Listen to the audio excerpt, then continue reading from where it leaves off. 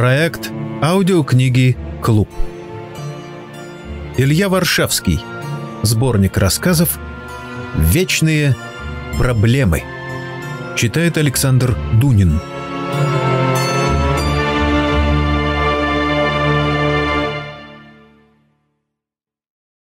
В атолле. Мы все стояли на берегу и смотрели на удаляющегося альбатроса. Он был уже так далеко от нас, что я не мог рассмотреть, есть ли на палубе люди. Потом из трубы появилось белое облачко пара, а спустя несколько секунд мы услышали протяжный вой. «Все», — сказал папа, — «теперь мы можем сколько угодно играть в Робинзонов. У нас есть настоящий необитаемый остров, хижина и даже пятница, это было очень здорово придумано. Назвать толстого неповоротливого робота «пятницей». Он был совсем новый, и из каждой щели у него проступали под лучами солнца капельки масла. «Смотри, он потеет», — сказал я. «А ну, кто быстрее!» — крикнула мама, и мы помчались на перегонки к дому. У самого финиша я споткнулся о корень и шлепнулся на землю, и папа сказал, что это несчастный случай, и бег нужно повторить. А мама спросила, больно ли я ушибся. Я ответил, что все это ерунда, и что я вполне могу опять бежать. Но в это время раздался звонок, и папа сказал, что это, вероятно, вызов с Альбатроса, и состязание придется отложить. Звонок все трещал и трещал, пока папа не включил видеофон. На экране появился капитан Альбатроса. Он по-прежнему был в скафандре и шлеме. «Мы уходим», — сказал он, — «потому что...» «Я понимаю», — перебил его папа. «Если вам что-нибудь понадобится...» «Да, я знаю. Счастливого плавания». «Спасибо. Счастливо оставаться». Папа щелкнул выключателем, и экран погас. «Пап», — спросил я, — «они навсегда ушли?» «Они вернутся за нами», — ответил он. «Когда?» «Месяца через три». «Так долго?» «А ты разве не рад, что мы, наконец, сможем побыть одни, и никто не будет нам мешать?» «Конечно, рад», — сказал я, и это было чистейшей правдой. Ведь за всю свою жизнь я видел папу всего три раза, и не больше, чем по месяцу. Когда он прилетал, к нам всегда приходила куча народу, и мы никуда не могли выйти без того, чтобы не собралась толпа, и папа раздавал автографы и отвечал на массу вопросов. И никогда нам не давали побыть вместе по-настоящему. «Ну, «Давайте осматривать свои владения», — предложил папа. Наша хижина состояла из четырех комнат. Спальни, столовой, моей комнаты и папиного кабинета.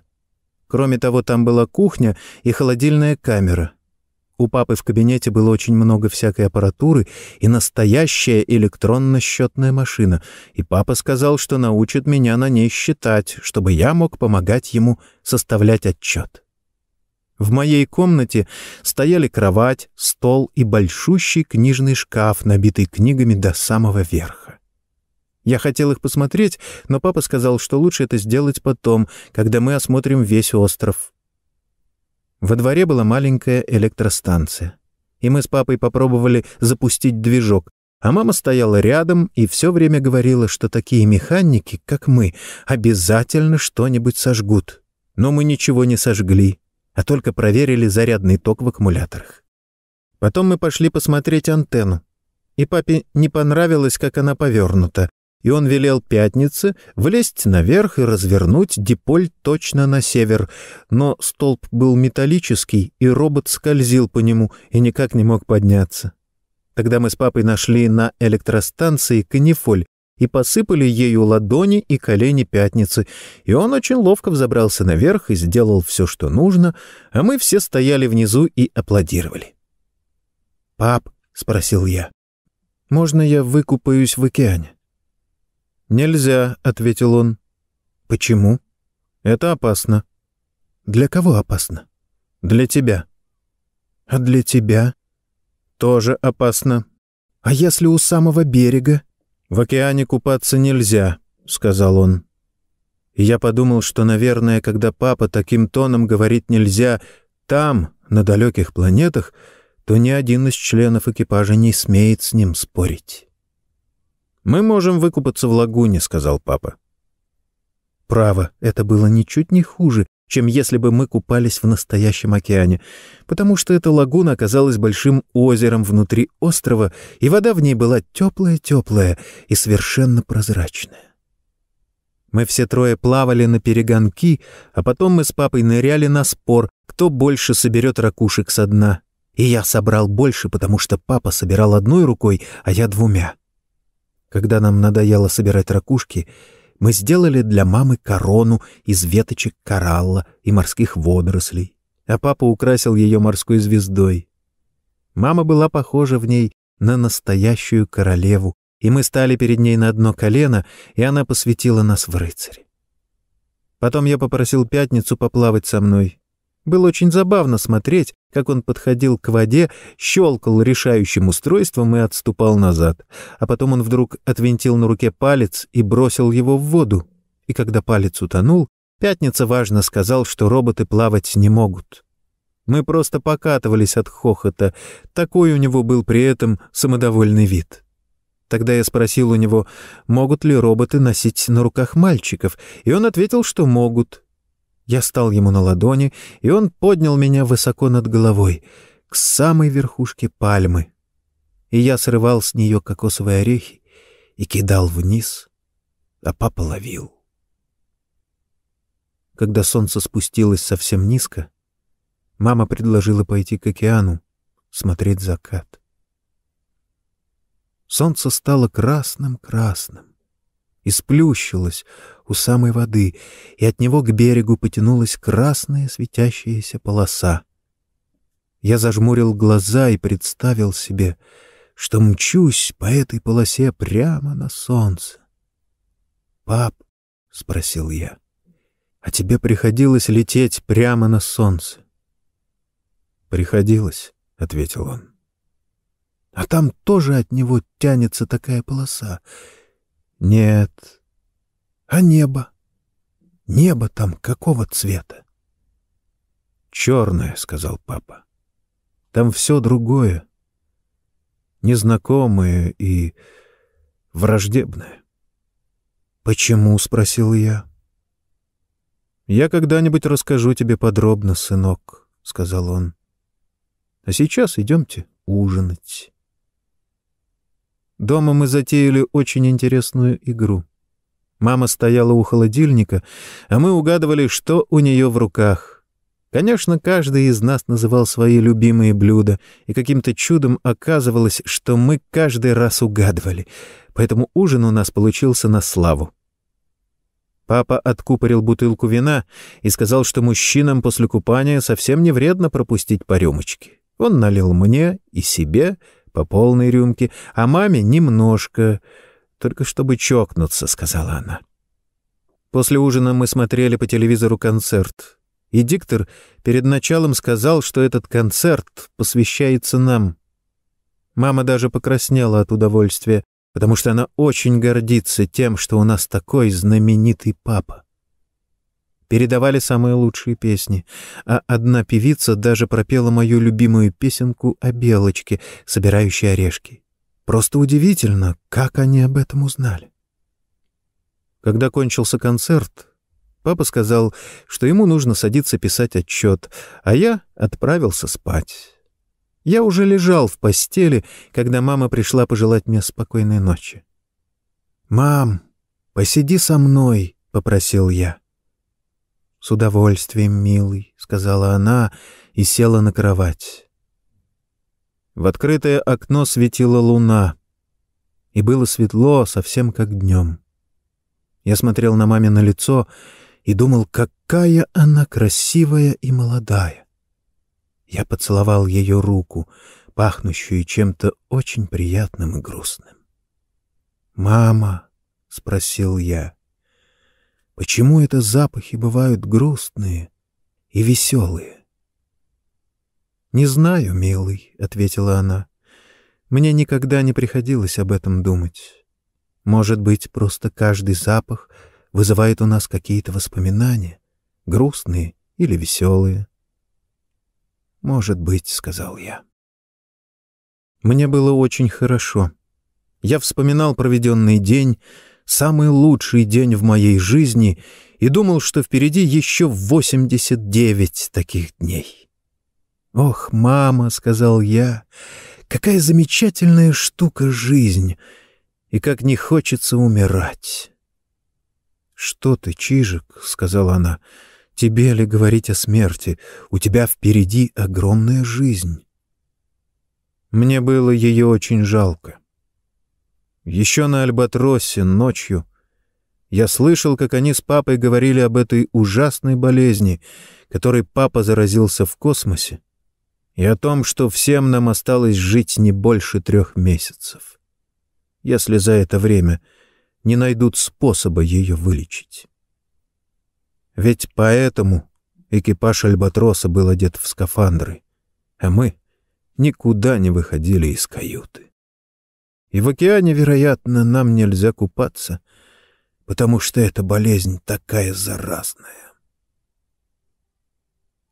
И все же я подумал, что когда люди так любят друг друга, нужно всегда говорить только правду. «Не надо, мамочка. Дорогая», — сказал я, — «ведь даже если не найдут способы лечить эту болезнь, найдут» тихо сказала мама. Обязательно найдут.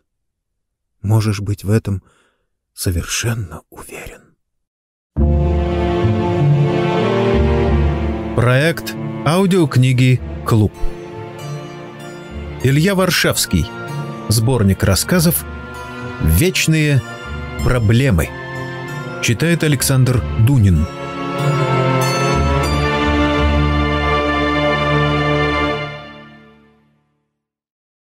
Неедяки. По установившейся традиции мы собрались в этот день у старого космонавта. Сорок лет тому назад мы подписали ему первую путевку в космос. И несмотря на то, что мы оставались на Земле, а он каждый раз улетал все дальше и дальше, тысячи общих интересов по работе связали нас дружбой, крепнувшей с каждым годом. В этот день мы праздновали сорокалетие нашей первой победы. Как всегда, мы предавались воспоминаниям и обсуждали наши планы. Пожалуй, не стоит скрывать, что с каждым прошедшим годом воспоминаний становилось все больше, а планов... Впрочем, я несколько отвлекся от темы. Мы только что закончили спор о парадоксах времени и находились еще в том возбужденном состоянии, в котором бывают спорщики, когда все аргументы уже исчерпаны, и каждый остался при своем мнении. «Я считаю», — сказал конструктор, — «что время, текущее в обратном направлении, также выдумано математиками, как космонавтами, миф о неедяках. Степень достоверности примерно одинакова». В глазах космонавта блеснули знакомые мне насмешливые огоньки. «Вы ошибаетесь», — сказал он, наполняя наши бокалы. «Я сам видел неедяк. Да и само название тоже придумано мною. Могу рассказать, как это произошло». Это случилось тридцать лет назад, когда мы только начали осваивать большой космос. Летали мы тогда на допотопных аннигиляционных двигателях, доставлявших нам уйму хлопот. Мы находились на расстоянии нескольких парсеков от Земли, когда выяснилось, что фотонный ускоритель нуждается в срочном ремонте. Корабль шел в поясе мощной радиации, и о том, чтобы выйти из кабины, снабженной надежной системой биологической защиты, нечего было и думать. Выручить нас могла только посадка на планете, обладающей хоть какой-нибудь атмосферой, способной ослабить жесткое излучение. К счастью, такая возможность скоро представилась. Наш радиотелескоп обнаружил прямо по курсу небольшую систему, состоящую из центрального светила и двух планет. Можете представить себе нашу радость, когда приборы зафиксировали на одной из этих планет атмосферу, содержащую кислород. Теперь уже нами руководило не только стремление поскорее исправить повреждения, но и азарт исследователей, хорошо знакомый всем, кто когда-либо в космосе обнаруживал условия, пригодные для возникновения жизни. Вы хорошо знаете наши старенькие корабли. Молодежь их сейчас считает просто смешными, но я о них вспоминаю с сожалением. Они не имели того комфорта, которым обладают современные лайнеры, и команда на них была смехотворно малочисленной, но для разведки космоса они, по-моему, были незаменимы. Они не нуждались в космических посадочных станциях и, что самое главное, легко конвертировались в ракетопланы, обладающие прекрасными маневренными качествами. Наш экипаж состоял из геолога, доктора и меня, исполнявшего обязанности командира, штурмана и бортмеханика. Четвертым членом экипажа был мой старый космический товарищ Спаниэль Руслан. Мы с трудом сдерживали охватившее нас нетерпение, когда на экране телевизора замелькали облака, скрывавшие поверхность таинственной планеты. Кое-что о ней мы уже знали. Ее масса была близка к земной, а период обращения вокруг центрального светила равен времени оборота вокруг собственной оси. Таким образом, она, подобие Луны, всегда обращена к своему Солнцу только одной стороной. Ее атмосфера состоит из 20% кислорода, 70% азота и 10% аргона. Такой состав атмосферы избавлял нас от необходимости работать в скафандрах. Каждый из нас строил всевозможные предположения относительно вида и характера хозяев нашего будущего пристанища. К сожалению, нас очень быстро постигло разочарование. Корабль три раза на небольшой высоте облетел планету, но ничего похожего на присутствие живых существ обнаружить не удалось. Освещенная сторона планеты представляла собой раскаленную пустыню, а противоположная — сплошной ледник. Даже область вечных сумерек на их границе была лишена какой-либо растительности. Оставалось загадкой, каким же образом без растительности мог появиться в атмосфере кислород. Во всяком случае, с мечтами о радушном приеме на этой планете приходилось распроститься. Наконец мы выбрали место для посадки в районе с наиболее умеренным климатом. Повреждение ускорителя оказалось пустяковым, и мы рассчитывали, что через несколько дней, считая по земному календарю, сможем отправиться в дальнейший рейс. Попутно с ремонтными работами мы продолжали изучение планеты. Ее почва состояла из базальтов со значительными скоплениями окислов марганца. По-видимому, наличие кислорода в атмосфере объяснялось процессами восстановления этих окислов. Ни многочисленные пробы, взятые из атмосферы, ни анализы воды горячих и холодных источников, которыми была богата планета, ни исследования различных слоев почвы не обнаруживали ничего такого, что указывало бы на наличие хотя бы самых примитивных форм жизни. Планета была безнадежно мертва. Уже все было готово к отлету, но внезапно произошло событие, совершенно изменившее наши планы. Мы работали на стартовой площадке, когда услышали яростный лай Руслана. Нужно сказать, что Руслан видал виды, и вынудить его лаять могло только нечто совершенно необычное. Впрочем, то, что мы увидели, заставило и меня издать невольное восклицание. По направлению к большому ручью находящемуся примерно в 50 метрах от нашего корабля, двигалась странная процессия. Сначала мне показалось, что это пингвины. Тоже невозмутимое спокойствие, та же важная осанка, такая же ковыляющая походка. Однако это было первым впечатлением. Шествовавшие мимо нас существа не были похожи ни на пингвинов, ни на что-либо другое, известное человеку. Представьте себе животных ростом с кенгуру, передвигавшихся на задних лапах.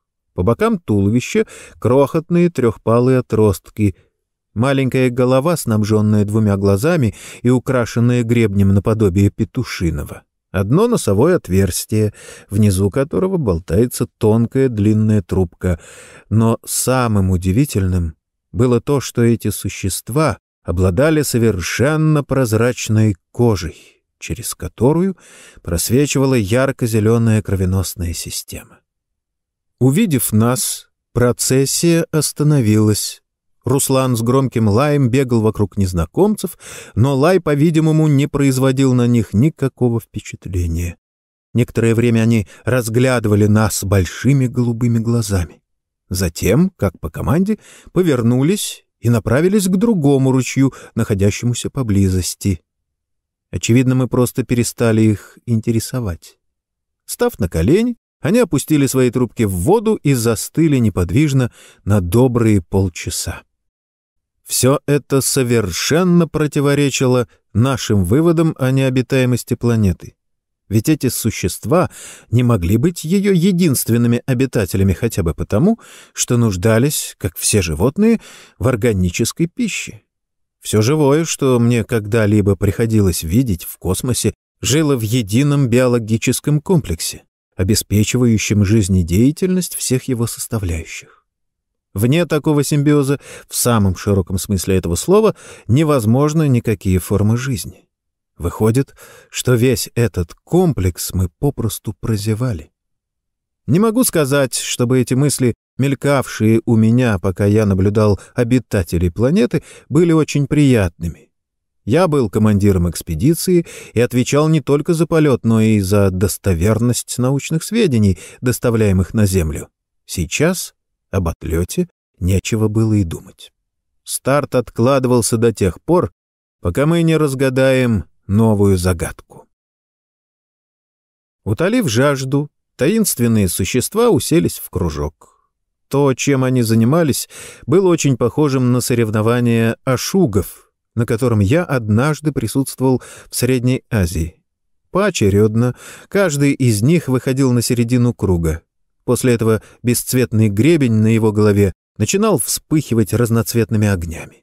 Остальные в полном безмолвии наблюдали за этой игрой красок. Трудно было удержаться от смеха, наблюдая, с какой важностью они все это проделывали. Исчерпав, видимо, всю программу, они поднялись на ноги и гуськом отправились в обратный путь. Мы последовали за ними. Я не буду утомлять вас описанием всех наших попыток составить себе ясное представление об этих существах. Они жили на освещенной части планеты, трудно сказать, как они проводили время. Они попросту ничего не делали. Около двухсот часов они лежали под жгучими лучами своего солнца, пока не приходило время отправляться на водопой. У ручья каждый раз повторялась та же сцена, которую мы наблюдали в первый раз. Размножались они почкованием. После того, как на спине у взрослого животного вырастал потомок, родительская особь умирала. Таким образом, общее количество их на планете всегда оставалось постоянным. Они ничем не болели, и за все время нашего пребывания там мы ни разу не наблюдали случаев их преждевременной смерти. При всем этом они обладали одной удивительной особенностью. Они ничего не ели.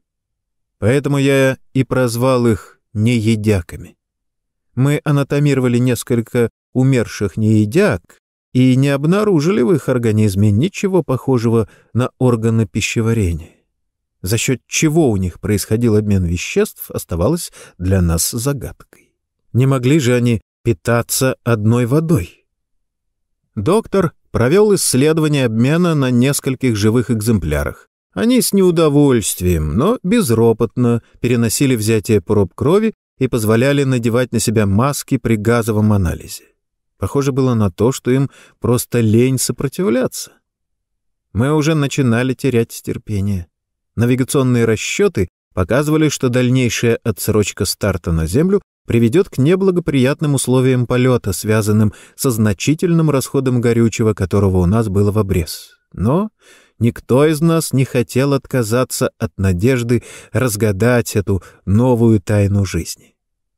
Наконец настал тот день, когда доктору удалось свести воедино все добытые им сведения, и неедяки перестали быть для нас загадкой. Оказалось, что неедяки не представляют собой единый организм. В их крови находятся бактерии, использующие свет, излучаемый центральным светилом для расщепления углекислоты и синтеза питательных веществ из азота, углерода и водяного пара. Все необходимое для этого бактерии получают из организма неедяк. Процессы фотосинтеза облегчаются прозрачными кожными покровами неедяк. Размножение бактерий в организме этих удивительных существ происходит только в слабощелочной среде. Когда бактерий становится слишком много, железы внутренней секреции неедяк выделяют гормоны, повышающие кислотность крови, регулируя тем самым концентрацию питательных веществ в организме. Это был удивительный пример симбиоза, доселе неизвестной науки. Должен сознаться, что открытие доктора навело меня на ряд размышлений. Ни одно живое существо в космосе не получило от природы так много, как неедяки. Они были избавлены от необходимости добывать себе пищу, забот о потомстве, они не знали, что такое борьба за существование, и никогда не болели. Казалось, природой было сделано все, чтобы обеспечить необычайно высокое интеллектуальное развитие этих существ. И вместе с тем они немногим отличались от Руслана, у них не было никакого подобия общества. Каждый из них жил сам по себе, не вступая в общение с себе подобными, если не считать бессмысленных забав с гребнями у ручья. Откровенно говоря, я начал испытывать отвращение к этим баловням природы и безо всякого сожаления покинул странную планету. Я туда случайно попал через десять лет, и то, что я там увидел — поразило меня больше, чем открытие, сделанное доктором. При втором посещении Ниедии я обнаружил у Ниедяк зачатки общественных отношений и даже общественное производство. «Что же их к этому вынудило?» — недоверчиво спросил конструктор. «Блохи!» — раздался стук разбиваемого стекла. Конструктор с сожалением смотрел на свои брюки, залитые вином. «Мне очень неприятно», — сказал он, поднимая с пола осколки. «Кажется, это был ваш любимый бокал из лунного хрусталя. Но шутка была столь неожиданной. Я не собирался шутить», — перебил его космонавт. «Все было так, как я говорю. Мы были настолько уверены в отсутствии жизни на этой планете, что не приняли необходимых в таких случаях мер по санитарной обработке экипажа. По-видимому, несколько блох с Руслана переселились на Неедяк и прекрасно там прижились. Я уже говорил о том, что у Неедяк очень короткие передние конечности. Если бы они не чесали друг другу спины и не объединяли свои усилия при ловле блох, то те бы их просто загрызли. Не знаю, кому из неедяк первому удалось обнаружить, что толченная перекись марганца служит прекрасным средством от блох. Во всяком случае, я видел там фабрику, производящую этот порошок. Им удалось даже изобрести нечто вроде примитивной мельницы для размола. Некоторое время мы молчали. Потом конструктор сказал, «Ну, мне пора идти». Завтра утром старт 12-й внегалактической экспедиции. У меня пригласительный билет на торжественную часть. Вы ведь там тоже будете?» Мы вышли с ним вместе. «Ох уж эти мне космические истории!» — вздохнул он, садясь в лифт. Проект аудиокниги «Клуб». Илья Варшавский — Сборник рассказов «Вечные проблемы». Читает Александр Дунин.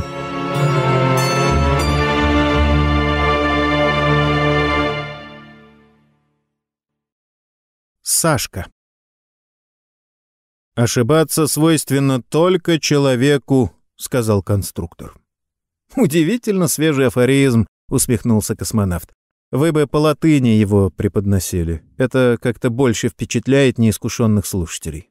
Глупости. Лицо конструктора покрылось красными пятнами, верный признак того, что он готов ринуться в бой. Я вовсе не о том. Просто ошибки появляются всегда там, где отсутствует жесткая программа. То, что мы делаем по велению инстинкта, всегда точно и безошибочно, потому что нас запрограммировала мать природа. Ошибки неизбежны, когда на жесткую программу накладывается чувство или разум. Исправно действующая машина с хорошо продуманной программой не знает ошибок. «Однако я помню случай», — сказал космонавт. «Да-да, расскажите, как это получилось», — попросил я конструктора. «Вы имеете в виду конфуз с метеором?» «Конечно». Конструктор замялся. Кажется, его наступательный порыв иссяк. «Ну, это, знаете ли, исключение, которое только подтверждает правило», — вяло заметил он. «Дудки», — сказал космонавт.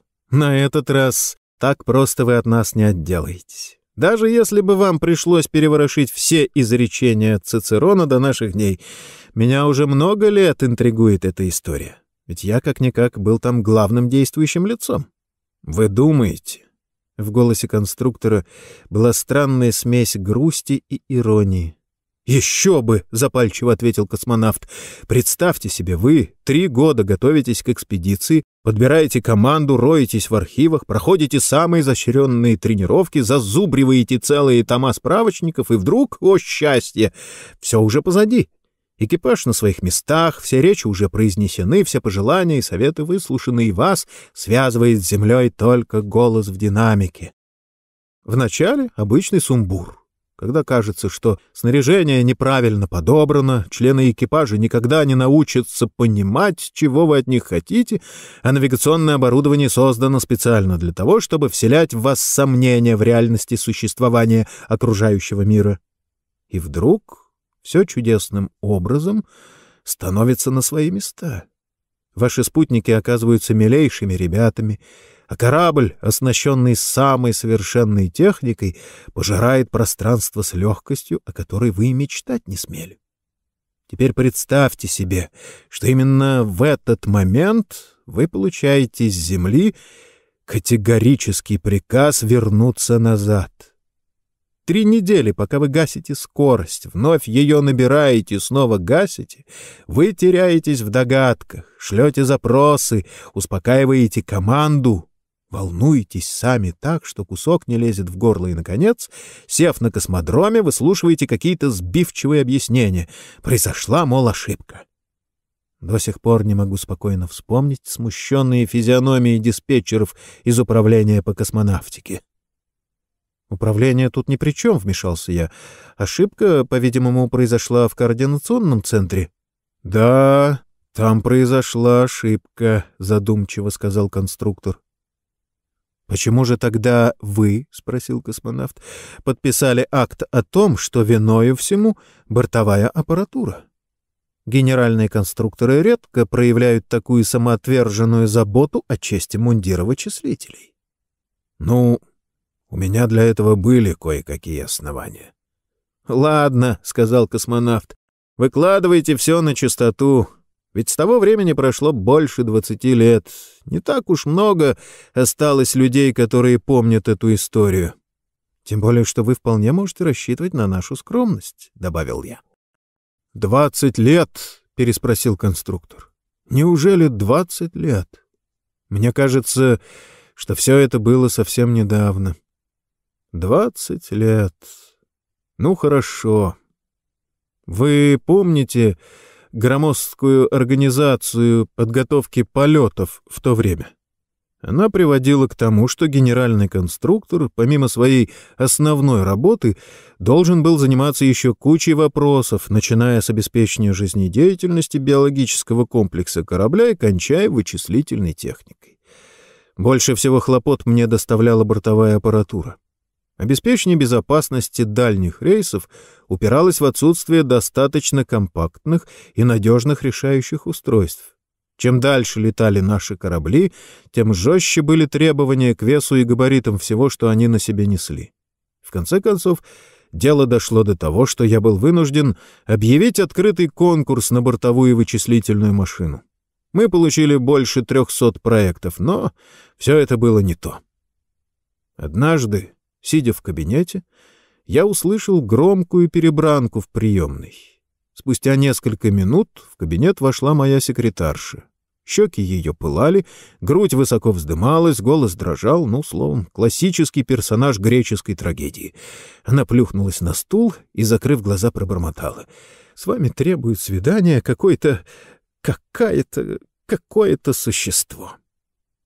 Действительно, в дверях стояло нечто такое, что трудно поддавалось классификации — это существо было облачено в выцвевшие джинсы, прожженные во многих местах до дыр, клетчатую рубашку и лихо заломленный картуз, из-под которого свисали до глаз рыжие космы.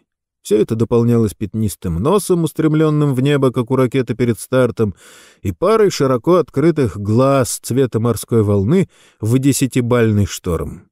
Пальцы с черной каймой под ногтями судорожно сжимали большой чемодан из желтой кожи. Судя по всему, этот экземпляр украшал собой нашу планету уже не менее 14 лет. Я понял, что мне не сдобровать. «Еще бы», — сказал космонавт. «Каждый раз перед стартом я извлекаю из самых укромных уголков корабля не меньше десятка таких парнишек пять лет они мастерят аккумуляторы из консервных банок, в восемь изобретают реактивный велосипед, в четырнадцать становятся звездоплавателями, а в шестнадцать наводняют редакции журналов проектами перестройки нашей галактики. Дело в том, что мальчишки всегда... «Вы ошибаетесь», — перебил конструктор. «То есть, пожалуй, вы были бы правы, если бы...»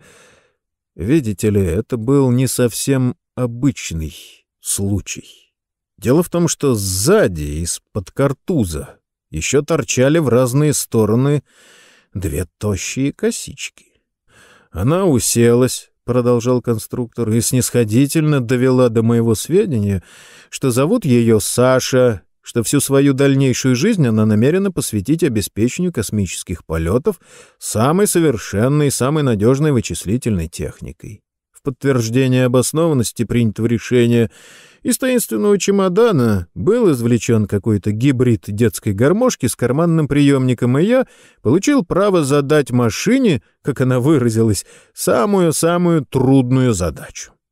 Я поинтересовался, в каком она классе, и, примерно определив возможности конструктора, задал задачу на определение экстремальных значений функции.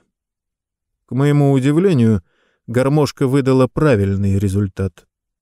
Теперь нужно было решить, как поделикатнее спровадить это юное дарование. Для начала я извлек из ящика стола коробку конфет. Она бросила на меня одобрительный взгляд и запустила пятерню в коробку. Я не могу похвастать большим опытом по воспитанию детей, но лекция, которую я ей прочел, казалась мне тогда шедевром педагогики. Больше часа я ей втолковывал, что каждый, кто желает стать конструктором, должен вооружиться терпением и стараться получить как можно больше знаний, что только в школе... Впрочем, вы сами знаете, какие сентенции преподносятся в подобных случаях. Я уже торжествовал победу, когда она, перебив меня, поинтересовалась, считаю ли я большое терпение и обширные знания обязательными для генерального конструктора. Я подтвердил это и встал, чтобы проводить ее до двери, но она не проявляла никакого желания расстаться ни с креслом, ни с конфетами. Мне не оставалось ничего другого, как снова сесть. Убедившись, что генеральные конструкторы действительно обладают большим терпением, она приступила к проверке моих знаний Вилка ее машины была выдернута из розетки, и мне предложили объяснить, почему на клеммах решающего устройства сохранилось напряжение. Я сказал, что схема, вероятно, дублирована на конденсаторах, и что, хотя это очень старый способ, применявшийся ранее в переносных радиотелефонах, она сможет у нас в библиотеке найти по этому вопросу много книг. «Не найду», — вызывающе ответила она, — роясь в своем чемодане. «Ничего я у вас не найду, потому что вы понятия не имеете, о чем идет речь. Вот, полюбуйтесь, вы генеральный конструктор. На мой стол плюхнулись две картонные коробки с деревянными клавишами. Видите, они же живые. Она открыла одну из коробок, и моему взору представилась желтоватая студенистая масса, вся утыканная проводами. Рыжий бесенок продолжал выбрасывать из чемодана какие-то пробирки, школьный микроскоп, кучу радиодеталей и клочки бумаги, исписанные формулами. Живые, живые, живые! Все они потомство одной машины. Потомство! Понимаете, что такое потомство? Они могут решать все задачи, на которые была запрограммирована их машина до того, как произвела их на свет. Ну что, съели? Как теперь? Будете меня снова посылать в школу или дадите лабораторию?» В дверь просунулось встревоженное лицо секретарши, но я жестом дал ей понять, что пока вызывать помощь рановато. Честное слово, меня все это начинало интересовать. Я до сих пор не понимаю, как моего Цербера не хватил удар, когда поздно вечером мы с Сашей прошли через приемную. К тому времени у нас уже был заключен дружественный союз. На прощание она небрежно поправила на мне галстук и милостливо разрешила называть себя просто Сашкой, а я обещал ей выделить лабораторный стол и даже подергал ее за косички. Право, ни один мужчина в возрасте от пяти до восьмидесяти лет — не смог бы преодолеть такое искушение. Условия нашего договора были точны и суровы. Если в течение года ей удастся соорудить какую-нибудь каракатицу, способную решить задачу о пропорциональном сближении ракет в космосе, я обязуюсь оборудовать ей лабораторию и предоставить все условия для дальнейшей работы. Если нет, то она возвращается в школу и клянется не показываться мне на глаза до окончания института. На первое время я прикрепил к ней опытного программиста. «Да», — сказал космонавт, — «задача на пропорциональное сближение. Хм. Все-таки царь Ирод более гуманно относился к детям». «Ему приходилось иметь дело с мальчиками», — ответил конструктор. «А они всегда заслуживают снисхождения. Я не мог поступить иначе, затевая опасный эксперимент с человеческой душой. Нужно было дать ей отведать всю горечь того, что восторженные профаны называют радостью научного поиска. В результате она либо убедилась бы сама в абсурдности этой идеи и нашла бы более разумное применение своего пыла в менее экзотической области, либо... Впрочем, другого исхода я не ждал. Слишком фантастичным было все это предприятие. «Вы так и не сказали, в чем оно заключалось», — заметил космонавт. «Вообще, это была занятная мысль. Вы помните биологические батареи, которые мы когда-то устанавливали на искусственных спутниках? Два сосуда, заполненные жидкостью и разделенные пористой диафрагмой. В каждой половине — колонии бактерий. Одни, размножаясь, поддерживают повышенную концентрацию отрицательных ионов, другие положительных. Так вот, вся ее машина состояла из микроскопических ячеек с бактериями, соединенных коммутатором. Кроме того, там были простенькое управляющее устройство и программа, записанная на перфокарте. Если при работе машины потенциалы в ячейках совпадали по знаку с импульсами, подаваемыми управляющим устройством, то бактерии размножались. Если нет, погибали. В каждой ячейке у нее были помещены колонии различных бактерий. «Понимаю», — сказал, улыбнувшись космонавт. «Естественный отбор на соответствие программе. Мне кажется, знаете ли, что это не такая уж глупая идея». «Я и не говорил, что она глупая, иначе бы я не стал со всем этим связываться. Однако вы знаете, какие колоссальные трудности стоят между остроумной догадкой и получением практически ценных результатов. Но вы могли просто... Конечно, я мог поручить одной из лабораторий, выяснить, стоит ли с этим возиться. Но меня интересовало не столько само изобретение, сколько его автор.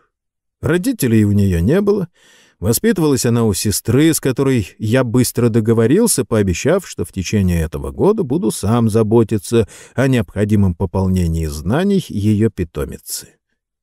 На следующий день Я велел поставить для нее стол в маленькой комнатке под лестницей и спустя несколько часов был вынужден принять меры по восстановлению порядка в институте. Пожалуй, не было ни одного сотрудника, которого бы как муху на мед не влекла загадочная надпись на двери чулана «Лаборатория кровного машиноведения».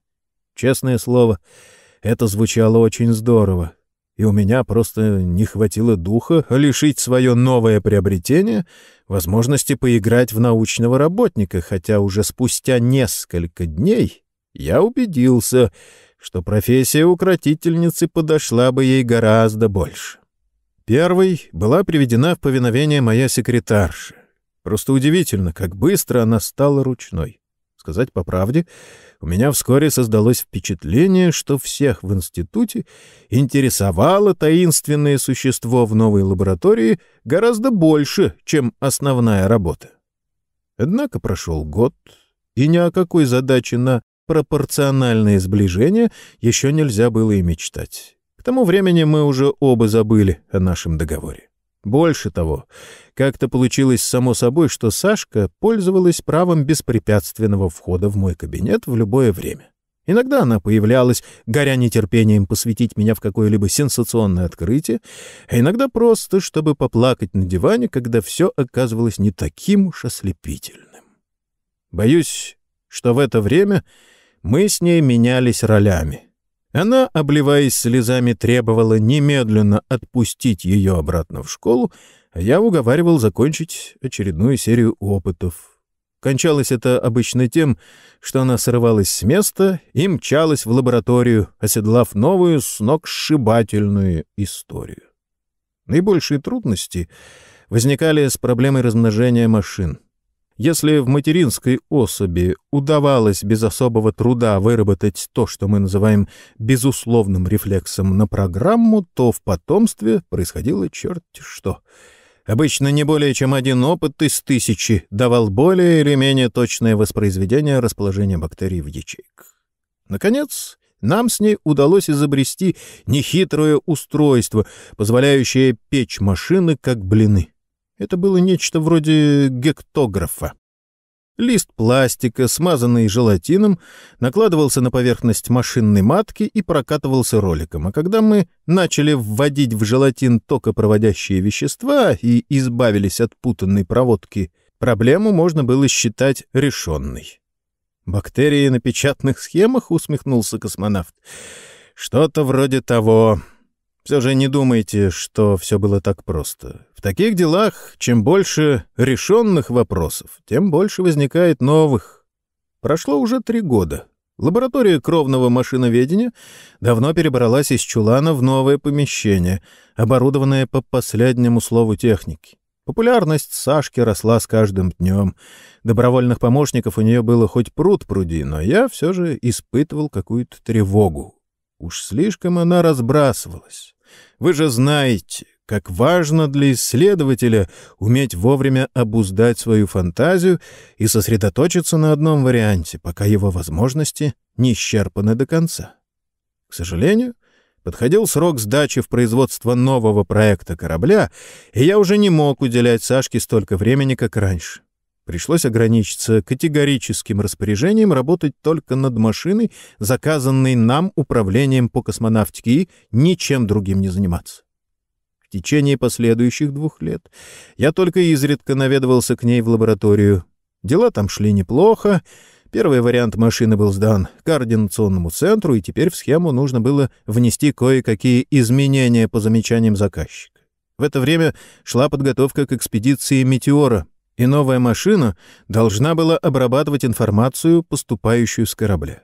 В случае успеха предполагалось использовать потомков этой машины в качестве бортовой аппаратуры на всех кораблях такого класса.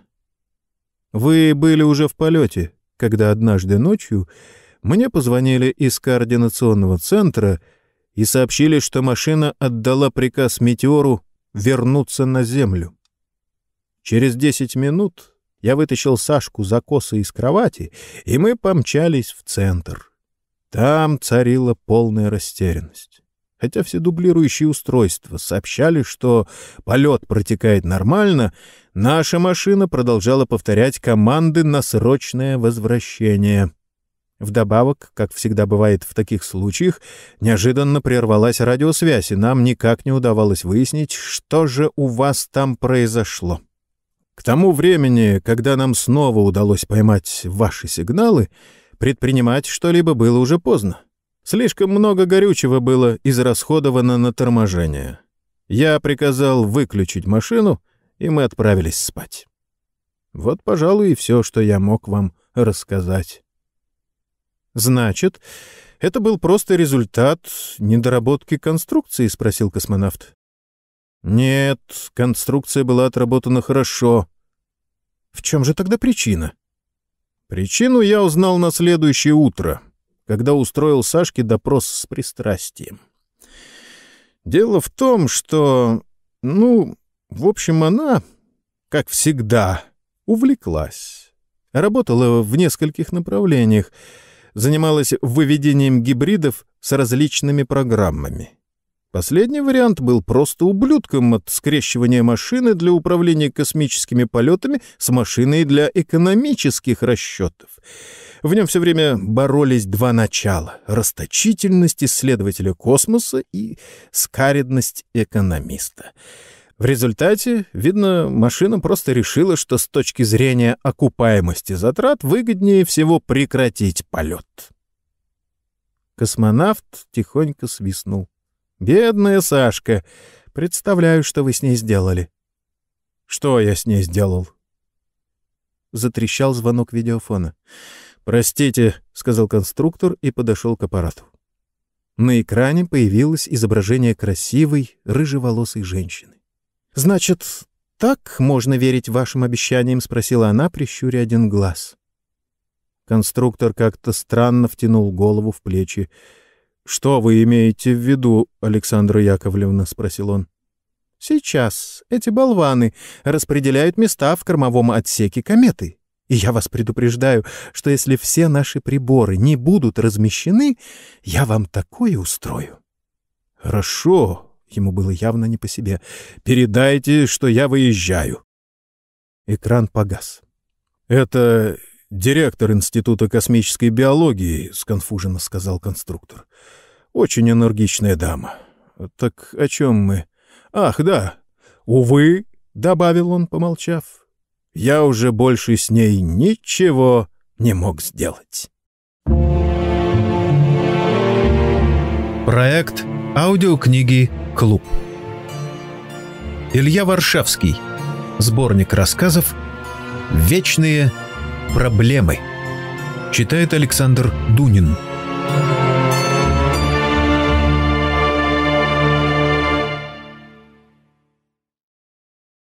Курсант Плошкин. Капитан Чигин взглянул на старинный морской хронометр, висевший на стене рядом с электронными часами. Кажется, пора. Он подошел к двери и повернул на два оборота ключ. Так спокойней. Затем из левого ящика стола были извлечены спиртовка два маленьких серебряных чайника и две коробочки, украшенные изображениями драконов. Конечно, открытый огонь на космолете — нарушение правил, но чай — это чай, и ни один истинный ценитель не будет пользоваться для его приготовления какими-то дурацкими плитками на медленных нейтронах. Что ж, капитан Чигин может позволить себе эту вольность. Пятьдесят лет службы в космосе тоже дают какие-то права. Космический устав — прекрасная вещь. На космолете должна быть железная дисциплина, иначе это будет не корабль, а кабак. Но нельзя же подходить с одной меркой к желторотому курсанту и старому космическому волку Чигину. Сначала прослужите столько, сколько капитан Чигин, а потом и права вам дадут особые. Вот такс. Чай тоже нужно уметь готовить. Это вам не какая-нибудь бурда, который подчуют на космодромах, а напиток высшего класса, эликсир бодрости. Сначала нужно ополоснуть чайник водой и поставить его на огонь. Когда из носика пойдет легкий порог, засыпать первую порцию чая и поставить чайник на батарею. Пусть постоит минут десять.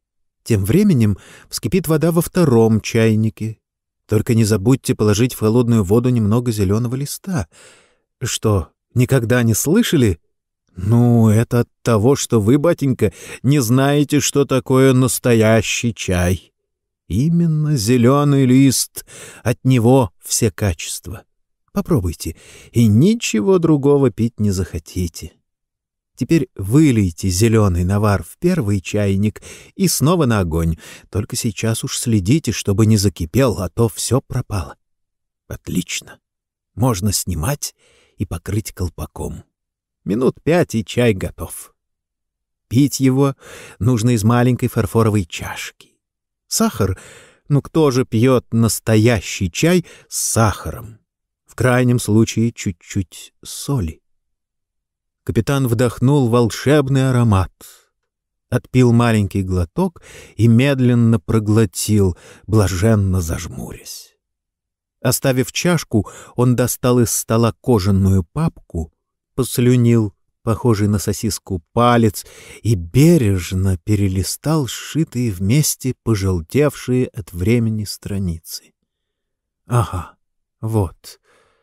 Я, капитан парохода «Жулан», вследствие скудного питания и неполного штата кочегаров, вынужден прекратить рейс, распустить команду и передать пароход местным властям. В настоящее время нахожусь в городе Коломбо, что на острове Цейлон, и с первым пароходом нашей компании вернусь в пределы Российской империи, что явствует из изложенного. Капитан слегка откинулся назад в кресле, чтобы полюбоваться ровными строчками рондо. «Что явствует из изложенного?» — со смаком повторил он, поднося чашку к рту. Стиль-то какой! Явствует из изложенного. Рука капитана потянулась к чайнику, но в этот момент кто-то осторожно постучал в дверь. Капитан поморщился, сунул спиртовку обратно в ящик, подошел к двери и повернул ключ. «Можно к вам, мастер?» В дверях стоял старший помощник. Чигин довольно ухмыльнулся. Обращение «мастер», как и звание «капитан», было заимствовано им из старинных книг и отлично прижилось. Попробуйте, найдите хоть еще одного космонавта, к которому обращаются подобным образом. Капитан — это для посторонних. Ближайшим помощникам разрешается маленькая фамильярность. Мастер. Право, неплохо звучит. Входите, Чиф. Может быть, чашечку чаю? Старпом вздохнул. Он терпеть не мог любимый напиток капитана, но отказаться значило смертельно обидеть старика. «Спасибо, с удовольствием». Чигин достал из шкафчика вторую чашку. «Какие новости?» «Радиограмма с подкидыша. Идет к нам с курсантами. Двенадцать человек». «Какой курс?» «Все первокурсники. Двенадцать козерогов». «Примите к правому борту». «Есть. Что еще? На подкидыше доктор. Радирует, что все в порядке, медикаменты получены. Так, капитан задумался. Опять первый курс. Щенки. На перегрузках будут лежать трупами, потом в невесомости заблюют весь корабль. Пробный рейс, так называемое окосмичивание кадров. Капитан терпеть не мог этого выражения — окосмичивание. Чушь это, а не окосмичивание. Подумаешь, старт с постоянной орбиты удлиненный эллипс вокруг Марса и возвращение на орбиту. Дать бы им настоящий взлет и еще посадочку на Венере, вот тогда бы узнали, что такое окосмичивание. Половина бы подала заявление об отчислении из училища. Но что поделаешь, если планета лед Альдебаран уже давно переведен в класс 4Е без права посадки на планеты. Еще года два его будут использовать в качестве учебной базы, а затем... Спасибо, мастер. Чай у вас действительно великолепный. подождите!» Старший помощник снова сел. «Вот что!» — капитан расстегнул воротник кителя. «Вы уж займитесь сами с курсантами. Главное, чтобы они сразу включились в работу. Ничто так не разлагает молодежь, как безделье. Никаких поблажек на всякие там недомогания и прочее. Железная дисциплина и работа излечивают все хворобы. Будем разбивать на вахты? Обязательно. По четыре человека. Из каждой вахты двоих боцману. Пусть с ними не миндальничает. А остальных? В штурманской рубке и в машине. По очереди каждые сутки. Во вторую половину рейса произведете перемену без выходных. «Чепуха все это», — сказал старший помощник. «Все равно курорт». «Вот вы и позаботьтесь, чтобы не было курорта. Погоняйте как следует». «Автоматика. Тут особенно не погоняешь. Времена не те». «Не те», — согласился капитан. «Вот спросите у этих козерогов, чего их понесло в училище, и они вам непременно наплетут про романтику космоса. А какая теперь романтика? Вот раньше... — В наше время, — кивнул старший помощник. Капитан хлопнул рукой по столу. — Да я не о том. Вот, скажем, мой прадед, он был капитаном парохода. — Чего? — Парохода. Плавал по морям. — Зачем? Лицо помощника выражало полное недоумение. «Ну, перевозили разные грузы». «Странно. Кому могло прийти в голову таскать грузы морем среди всех этих нефтяных вышек?» Капитан пожал плечами. «Вероятно, их тогда было меньше». «Все равно анахронизм». «Романтика», — задумчиво сказал капитан. «Тогда люди были другие». «Вот послушайте». Он открыл папку названный Сергей Малков, списанный мною, капитаном парохода «Жулан», в Кардивский морской госпиталь, направляется в пределы Российской империи, удовлетворенный денежным довольствием по день прибытия, что подтверждается подлинной подписью моей руки и приложением большой гербовой печати российского генерального консульства в городе Лондоне. «Да», — сказал помощник, «Это мой прадед, капитан парохода «Жулан», — самодовольно сказал Чигин. «Папка и хронометр — наши семейные реликвии». «Плавал по морю», — хмыкнул помощник. «Что не говорите, анахронизм». Капитан нахмурился. «Ничего вы не смыслите, Чиф.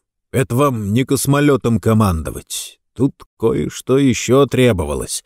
Отвага, мастерство, а парусный флот? Какие люди там были? Травить правый бомбрамбрас. Как это вам нравится? А что это значит? Ну, команда такая, неуверенно сказал капитан. Не понимаю я этого, развел руками помощник. Не понимаю, и все тут. Что за бомбрам? Я теперь тоже многого не понимаю. Раньше вот так все знал, выставил капитан растопыренную пятерню. А теперь, извините, не понимаю. В позапрошлом году направили на двухмесячные курсы изучать эти новые звездолеты. Лекции читал такой лопоухий. Послушал я первую и спрашиваю, а почему он у вас все-таки летит? Вот же, говорит, формула. А я и говорю, на формулах молодой человек летать не привык. На всем, говорю, летал, и на, и на летах, и на аннигиляционных, а вот на формулах не приходилось.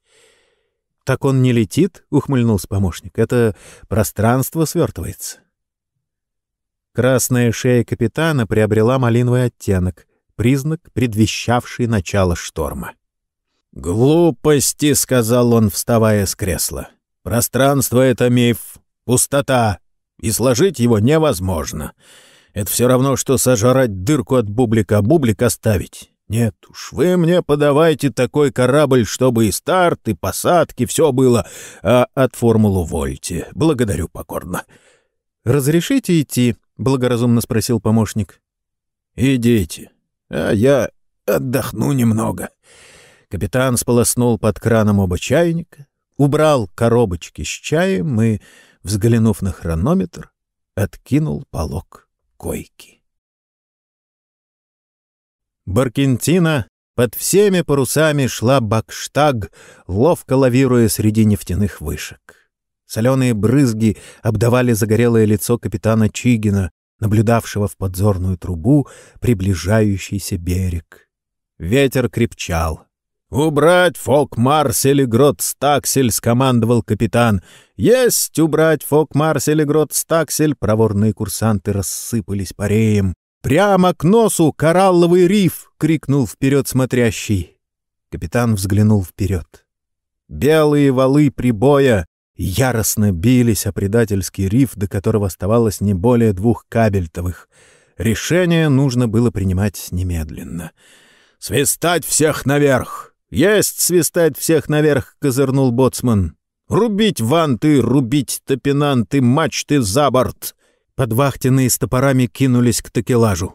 «Капитан, тонем!» — крикнул молодой курсант, указывая на приближающийся вал, покрытый белой пеной. «Черт побери, поздно!» Капитан окинул последним взглядом Баркентину. «Отличное судно! Но разве может оно противостоять мощи прибоя?» «Прощайте, братцы! Благодарю за отличную службу!»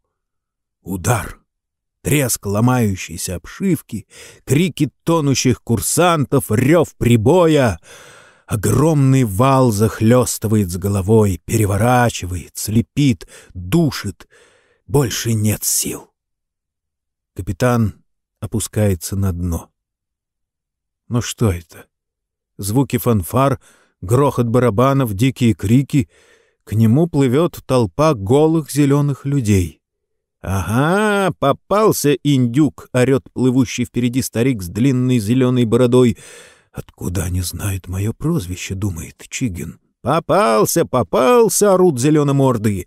«Напиши формулу свернутого пространства и станешь у нас вождем. Не напишешь — смерть! Смерть индюку!» «Фу, дьявол!» — капитан поднял голову с подушки. «Ведь приснится же такое!» Он перевернулся на спину, пытаясь понять, откуда идет этот шум. Внезапная догадка заставила его вскочить с койки. «Курсантский кубрик. Ну ладно, голубчики, сейчас получите космическое крещение». Капитан спустился в курсантский отсек и застыл в дверях. «Великий Тикату! Что там творилось?» Пиршество было в самом разгаре. Весь запас продовольствия, выданный сердобольными мамашами бедным деткам на долгий космический рейс, уничтожался ими с непостижимой скоростью. Завтра эти детки будут лежать на койках, держась за животики, и ни один не выйдет на вахту. А сейчас Горящие, возбужденные лица, рты, перемазанные вареньем, орущие под аккомпанемент электронной гармошки разухабистую песню, ту самую идиотскую песню о бравых парнях в космосе, которую так ненавидел капитан Чигин. Капитанские ноздри подозрительно втянули воздух. Нет, до этого еще, кажется, не дошло, но все же... Так закончим этот рейс мы, и в заоблачном порту нас погладит по головке всемогущий тиккату, и в награду за страдания даст нам сыр и колбасу, сказку нам расскажет няня с третьим глазом на носу. Самозабвенно вопил веснушчатый юнец, свесив ноги с койки. Гнев капитана медленно зрел, как плод под лучами осеннего солнца. Сладок запах женской кожи, а под кожей труха нас они целуют. Что же, пусть целуют, ха-ха-ха. Это уже было больше, чем мог выдержать даже командир учебного космолета. «Отставить!» Шум мгновенно стих. «Братцы, индюк!» — произнес чей-то голос сверху. Капитан сжал кулаки. Опять это прозвище, будь оно проклято! Откуда они только узнают? «Старшина, ко мне!» Вперед выступил тощий парнишка. «Ты старшина?» «Я». «Так вот что, голубчик», — с обманчивой мягкостью сказал капитан. «Во-первых, Когда в кубрик входит капитан, ты обязан подать команду смирно. Понял? Понял. А ну, подай. Смирно! пискнул парнишка. Капитан поморщился. Не так, громче. Смирно! Не так. Смирно! Чигин оглядел вытянувшихся в струну курсантов. «Вольно!» «Вольно!» — неожиданным басом крикнул старшина. Кто-то прыснул от смеха. «Это во-первых», — повторил капитан. «Во-вторых, на койках в кубриках не сидеть. Для этого есть банки». «Что есть?» — переспросил голос сверху. «Банки. А что это такое?» «Так называются на корабле скамейки. И в-третьих, все продукты сдать в камбус. Тут нянек нет. Клестиры вам ставить некому». Капитан мог поклясться, что ясно слышал, как кто-то у него за спиной произнес слово «дубина». Он резко повернулся, но в дверях никого не было. Очевидно, он просто ослышался. «Гармошку сдадите старпому». Тихий ропот пронесся по кубрику. «Простите, капитан», — робко сказал старшина. «Нельзя ли?» «Нельзя!» — оборвал его Чигин. «Не положено. Вернетесь на землю, получите свою гармошку, а здесь вы будете работать. Понятно?» «Понятно», — произнес чей-то голос. «Все понятно». «Вот и отлично. Запомните, что безделья на корабле я не потерплю». Капитан оглядел хмурые мальчишеские лица и повернулся к двери. «Смирно!» — крикнул старшина. «Вольно!» Вот так всегда. Немного твердости с самого начала, и эти козероги становятся шелковыми. Нет, что ни говори, а командование учебным кораблем не зря доверили старине Чигину. Тут прежде всего нужна опытная рука. Это вам не формулы писать, судари мои. Взявшись за поручни, капитан поглядел через плечо. Курсанты складывали продукты в большой чемодан.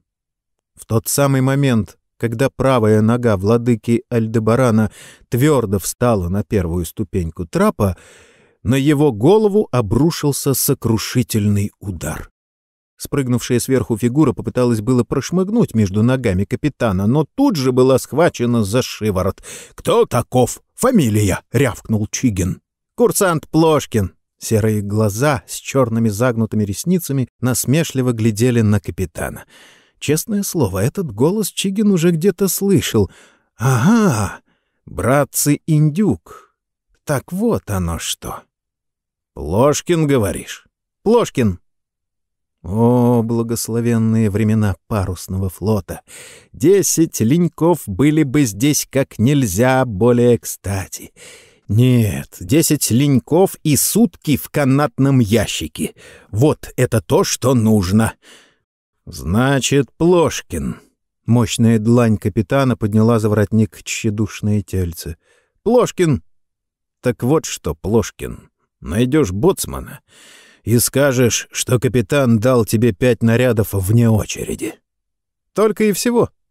«Это для начала», — наставительно сказал капитан, опуская его на пол. «Только для начала. А вообще тебе, Плошкин, много-много нарядов предстоит получить, но впоследствии. А сейчас иди, действуй». Получив на прощание отеческий подзатыльник, Плошкин юркнул в кубрик. «Фу, ну и денек!» Капитан вытер клетчатым платком потную шею и направился вниз в машинный отсек.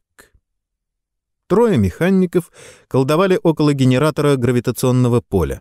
По выражению их лиц, Чигин понял, что и здесь ничего хорошего ждать не приходится. Пожевывая губами, он молча наблюдал, как они прозванивают изоляцию.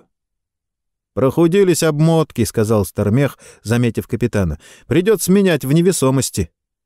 «Четыре часа», — сказал Чигин. «Четыре часа невесомости по программе. Успеете сменить». «Не успеем», — сказал второй. «Никак не успеем. Дня на два работы». Капитан было уже открыл рот, чтобы напомнить, что за двадцать суток вынужденного безделья на постоянной орбите все уже можно было сделать, но передумал, махнул рукой и направился к лифту. Он хорошо знал бесцельность всяких споров с механиками. У них всегда найдется какое-нибудь оправдание. «Подъемник не работает», — сказал старший. «Почему?» Тот пожал плечами. «Вы же знаете, что по второму вспомогательному реактору кончился срок инспекторского осмотра». «А почему вы не пригласили инспектора?» «Приглашал. Да он сказал, что ради такого старья не стоит тратить времени. Вас, говорит, давно уже на прикол пора ставить». «На прикол!» — возмущенно фыркнул капитан. «Не этому мальчишке решать, кого на прикол ставить. Вот вернемся из рейса, пойду в главную инспекцию». «У нас через месяц кончаются документы по двигателям», — добавил старший. «Тут уж без капитального ремонта никак не обойтись. В прошлом году... Ладно, не хуже вас знаю, что нужно». Он уже был наверху, когда услышал соболезнующий голос старшего механика. «Совсем расстроился наш индюк. Тоже давно на прикол пора», — заметил второй. Это было последней каплей, переполнившей чашу терпения. Увы, доблестный потомок капитана парохода Жулан в официальных документах назывался заведующим самоходной учебной космической базой, весь штат который, помимо него самого, состоял из одного помощника, врача, трех мотористов, самовольно возведенных в ранг механиков, и одного подсобного рабочего, попеременно именуемого то боцманом, то кокком, в зависимости от того, убирал ли он в тот момент помещение или вскрывал консервные банки для кают-компании. На этого двуликого Януса и обрушилась вся мощь капитанского гнева. «Кабак!» — заорал он, топнув ногой. «Форменный кабак! Поручни нечищены с прошлого рейса. В курсантском кубрике свинарник. Немедленно взять наряд курсантов, и чтобы через два часа все сверкало, как на пароходе. Ясно?» Ошеломленный кок поставил на пол мешок с блинной мукой и немедленно превратился в бравого боцмана. «Есть взять наряд курсантов!» Нет, что не говори, а дисциплинку капитан Чигин поддерживать умел. «Вот так», — добавил он уже спокойным тоном, — «берите их, голубчик, в работу, чтобы ни одного дня безделья. Кстати, там есть такой курсант Плошкин. Сегодня я ему вкатил пять нарядов. Как раз хватит на поручни».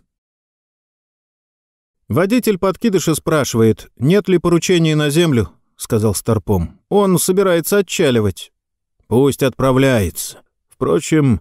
— капитан почесал затылок. «Задержите его еще на час». «Зачем?» «Так», — неопределенно буркнул Чигин. «Может понадобиться. А сейчас попросите зайти ко мне доктора». Через несколько минут в каюту капитана вошел врач. В руке у него была пачка перфокарт. «Вы меня вызывали?» «Да, голубчик, как у вас дела?» «Все в порядке. Медикаменты получены, санитарные карты проверены». Чигин бросил неодобрительный взгляд на перфокарты. Он мало доверял всей этой машинной диагностике. «А, вот что я вас попрошу.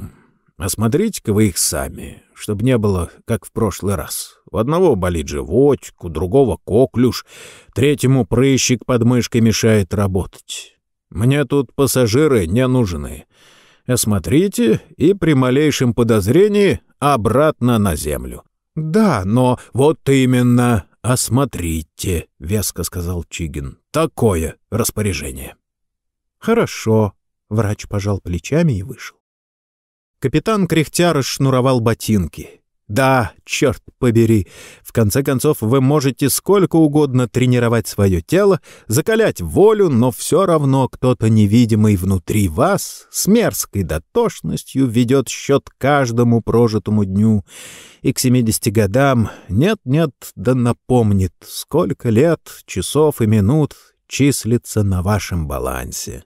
Вот так обстоят дела, судари мои и нечего нам обижаться на старика, если он для пользы дела и смажет иногда легонько по затылку какого-нибудь сопливого лентяя или разнесет нерадивого боцмана. Порядок должен быть на корабле. Беспорядка — это не корабль, а детский сад. Вот что такое корабль без дисциплины, если вы хотите знать. Ведь раньше на парусном флоте Чигин протянул руку и перенесся в таинственный мир портовых таверн, кладов, морских штормов и абордажных боев с пиратами, неотразимый чарующий мир, по которому так тосковала уставшая от серых космических будней душа капитана. Тем временем водитель подкидыша, прождав условленный час и распив со старпомом традиционный графинчик разбавленного спирта, отправился в обратный путь, пожелав представителю командования Альдебарана счастливого рейса. Было три часа сорок пять минут земного времени, когда Старпом возвратил капитана Чигина из царства фантастики и приключений к печальной действительности. «Пятнадцать минут до отлета, мастер». Капитан вздохнул, захлопнул книгу и направился в рубку. «Свистать всех наверх!» — мысленно произнес он, нажимая на кнопку аврального сигнала. Через несколько минут на пульте вспыхнула зеленая лампа. Машинный отсек сообщал о готовности двигателей к запуску. «По местам стоять, якоря сниматься!» Чигин ввел данные для полета в счетную машину и, подождав сигнала киберштурмана о решении задачи, взял микрофон. «Космос-3! Космос-3! Я Альдебаран, прошу выйти на связь, как меня слышите? Прием!» Тишина только треск разрядов в динамике. На экране видеофона никого нет. «Космос-3! Космос-3! Я Альдебаран! Прием!» Опять безрезультатно. «Космос-3! Космос-3!» Чигин постучал кулаком по черному ящику. «Космос-3! Фу, дьявол! Сколько раз просил дать сюда радиста! Разве с этой рухлядью? Космос-3!» От раскатов капитанского голоса замигали лампочки на пульте. «Космос-3! Я Альдебаран! Какого черта вы не отвечаете? Космос-3!» На экране внезапно появилась ухмыляющаяся рожа диспетчера. «Простите, капитан, но тут радист с транссолярного выдал такой анекдот. Какой-то тип...» Изображение исчезло, и голубая поверхность экрана заструилась черными молниями. Где-то поблизости один из новых звездолетов свертывал пространство. «Космос-3!» — капитан безнадежно махнул рукой. Нужно было ждать, пока это чертово пространство не начнет пропускать радиосигналы. «Правда здорово?» — изображение диспетчера снова скалило зубы на экране. «Да», — неуверенно сказал Чигин. «Что у вас, капитан?» «Прошу отход». «Документы в порядке?» «В порядке», Валяйте.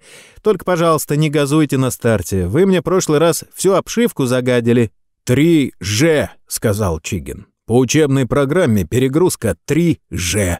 Они же еще совсем желторотые, эти козероги. Первый курс.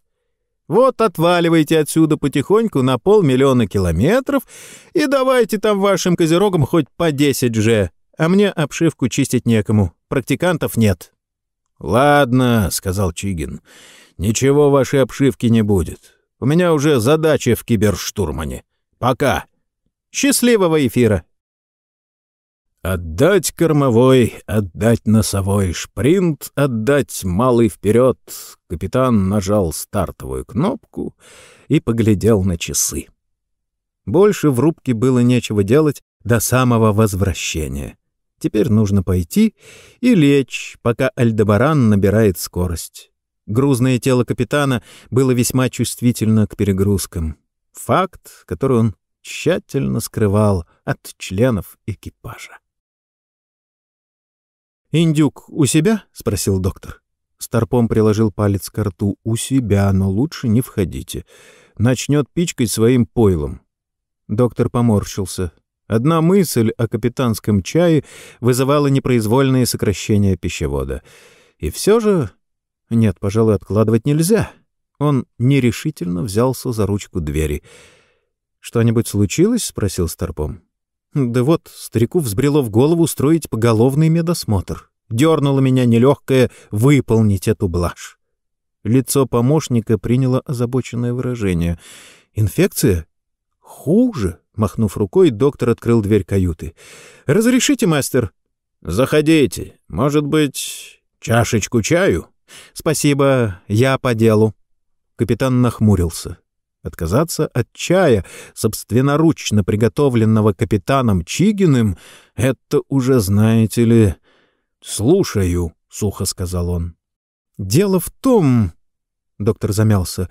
«Дело в том, что курсант Плошкин отказался проходить медосмотр».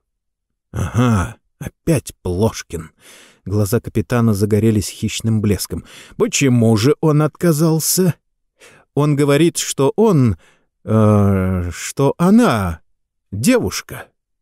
Кто девушка? Курсант Плошкин. Несколько минут капитан молча смотрел на доктора, пытаясь представить себе курсанта Плошкина в шелковом платье с розой в волосах.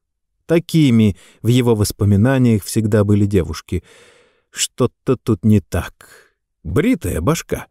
«Глупости!» — хмыкнул Чигин. «Такого не может быть. В училище девушек не принимают». «Так она же не курсант. Это ее брат, курсант Плошкин. Он перед вылетом заболел и остался на земле». «Как же он здесь?» Капитан решительно не мог ничего понять. «Раз остался на земле, значит, не может быть здесь. Что он тут святым духом появился?» Он остался на земле, а его сестра Инесса Плошкина под видом курсанта Плошкина здесь, на корабле. «Что?» — внезапно капитана осенило. Эти насмешливые серые глаза с черными загнутыми ресницами. «Курсанта Плошкина в кают-компанию!» — рявкнул Чигин, хватив, что было силы, кулаком по столу. Врачу учебного космолета Альдебаран за проявленную халатность, выразившуюся в несвоевременном выполнении приказания капитана, объявить строгий выговор с предупреждением, что явствует из изложенного капитан Чигин. «Что явствует из изложенного», — повторил вслух капитан и взял из пачки новый лист бумаги.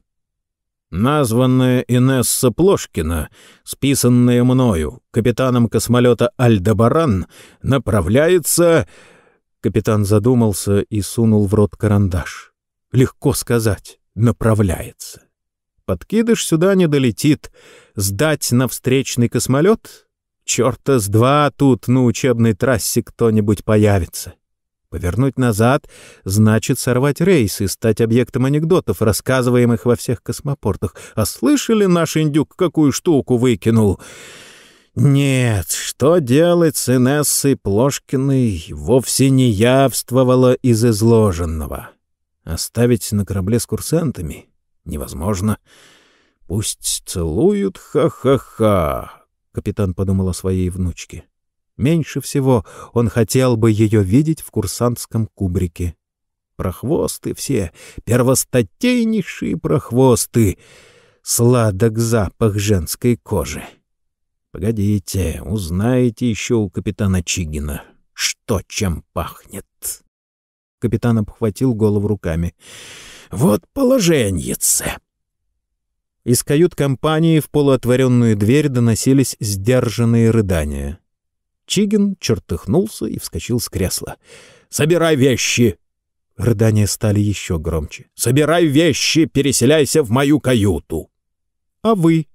В широко открытых, еще влажных от слез серых глазах было столько кротости и покорности судьбе, что капитану стало неловко. Нехорошо, нельзя было так на нее орать. Все-таки девушка. «Я буду спать у Старпома на диване», — буркнул он, глядя себе под ноги. «А ты... А вы располагайтесь. Сейчас боцман вам постелит здесь». Инесса плохо переносила невесомость, и капитан Чигин метал громы на головы механиков, безбожно затянувших смену гравитационных катушек. Он сам, не доверяя боцману, прибирал за ней каюту и отпаивал во время приступов тошноты крепким чаем. Даже ее просьба не заваривать эти мерзкие зеленые листья, неслыханная дерзость, могущая стоить иному смельчаку жизни, была воспринята им с добродушной усмешкой. «Вы знаете», — сказал он однажды Старпому, — «очень милая девушка, такая тихая и скромная. Она рассказала мне свою историю. Отец и мать погибли во время автомобильной катастрофы. Круглая сирота, живет с братом. «Скромная», — фыркнул Старпом. «Скромная, а какую штуку выкинула?» Капитан нахмурился. «Ничего вы не понимаете, Чиф. Девочку влечет романтика, покорение далеких планет и все такое. Ведь кроме космоса о чем теперь мечтать молодежи? А она Стивенсона любит. Кого любит? Стивенсона. Тоже курсант? Стивенсон — великий писатель древности, писал морские повести. «Анахронизм», — сказал Старпом. «Анахронизм — ваши морские повести. Вы лучше скажите, что с этой Плошкиной делать? Невесомость кончилась? Будем на вахту назначать?» «На вахту?» — капитан поскреб пятерней затылок. «Нет, зачем же на вахту? Ведь она пассажирка». Прошло несколько дней, и Инесса полностью освоилась на космолете. В ее распоряжении была вся капитанская библиотека, и на полу каюты валялись прочитанные книги вперемешку с обертками конфет, поглощаемых ею с не меньшим пылом, чем морские романы. В кают-компании тоже безраздельно царила Инесса, Капитан Чигин собственноручно накладывал ей в тарелку самые аппетитные куски и первый после окончания трапезы галантно подходил поцеловать тонкие пальчики, произнося при этом неизменную фразу «Поблагодарим нашу милую хозяюшку». Но самым удивительным было то, что доктор всю жизнь ненавидевший шахматы, часами просиживал с пассажиркой за доской, испытывая необъяснимое удовольствие от каждой проигранной партии. Между тем, в романтической душе капитана бушевал девятибальный шторм. Рейс подходил к концу, и мысль о том, что Альдебаран скоро лишится своей хозяйки, заставляла капитана строить самые фантастические планы. Наконец он принял решение — да, черт побери. Почему бы старине Чигину не удочерить эту славную девушку? Все равно родителей у нее нет, она Альдебаране, да зарезу нужен радист. Каких-нибудь два-три месяца, пока она кончит ускоренные курсы, а уж штатной должности радистки капитан Чигин добьется, можете быть на этот счет совершенно спокойны, судари мои. Все же жизнь очень сложная штука и человек никогда не знает, какой фортель она неожиданно может выкинуть. На этот раз великая мистификаторша предстала перед капитаном Чигиным в образе врача Альдебарана. Капитан сразу почувствовал неладное, увидев его смущенное лицо. «Скажите, мастер», — спросил доктор, теребя край скатерти, — «космический устав разрешает капитану космолета производить бракосочетание. На мгновение в воображении Чигина мелькнула заманчивая картина. По левому борту строй курсантов в парадной форме, по правую — экипаж. Инесса в подвенечном платье с белой фатой и доктор в строгом черном костюме. А в центре — он — правнук капитана парохода «Жулан», главное лицо этого великолепного церемониала. Но это было только мгновение. Сотни дьяволов, вооруженных раскаленными вилами, принялись терзать капитанское сердце. Инесса, лишиться этой девочки, когда уже все было продумано и решено, отдать свою дочь этому прохвосту? Ну нет, до капитана не раз доходили слухи о земных подвигах Эскулапа. Дудки, как-никак, а капитан Чигин тоже кое-что дозначит. — Вы думаете, — холодно спросил он, — что Инесса... — Думаю, что она не будет возражать, — скромно потупился доктор. Капитан засопел.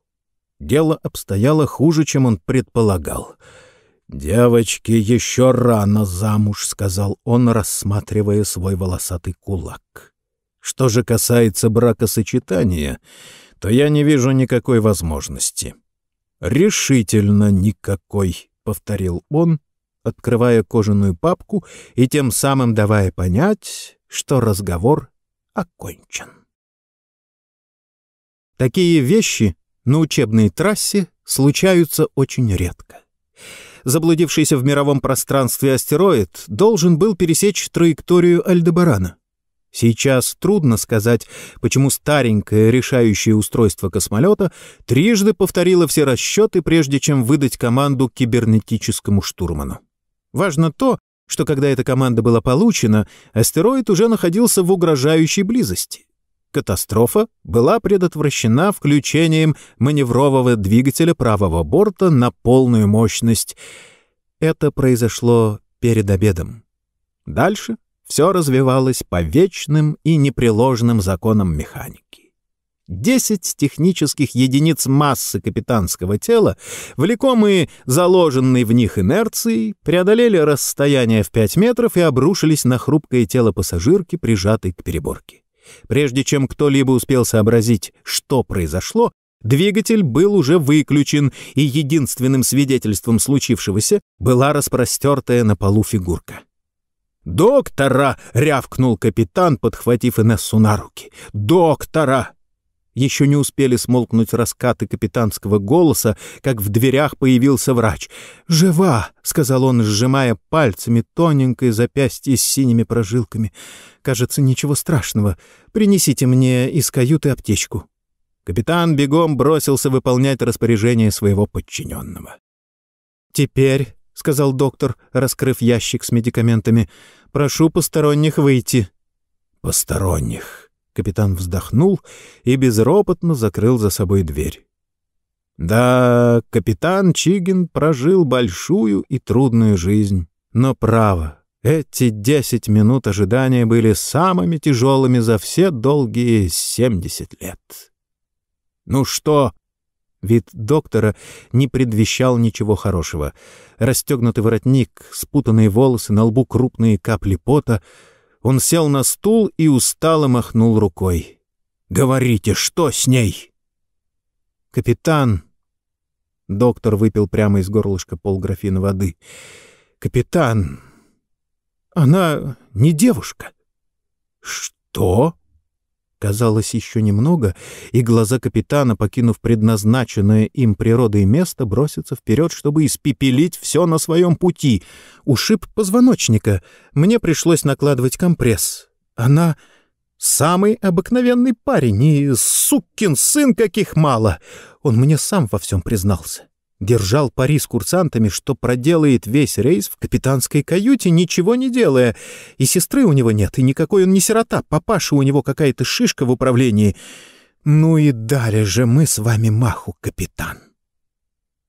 Всякий, кто видел бы в этот момент капитана Чигина, понял бы, откуда взялось это меткое прозвище «Индюк». За несколько минут щеки капитана попеременно принимали все цвета спектра, от красного до фиолетового. И когда он, наконец, открыл рот... Впрочем, не стоит повторять все, что произнес капитан Чигин, когда открыл рот. Ведь времена парусного флота давно прошли. Проект аудиокниги «Клуб». Илья Варшавский. Сборник рассказов «Вечные проблемы». Читает Александр Дунин.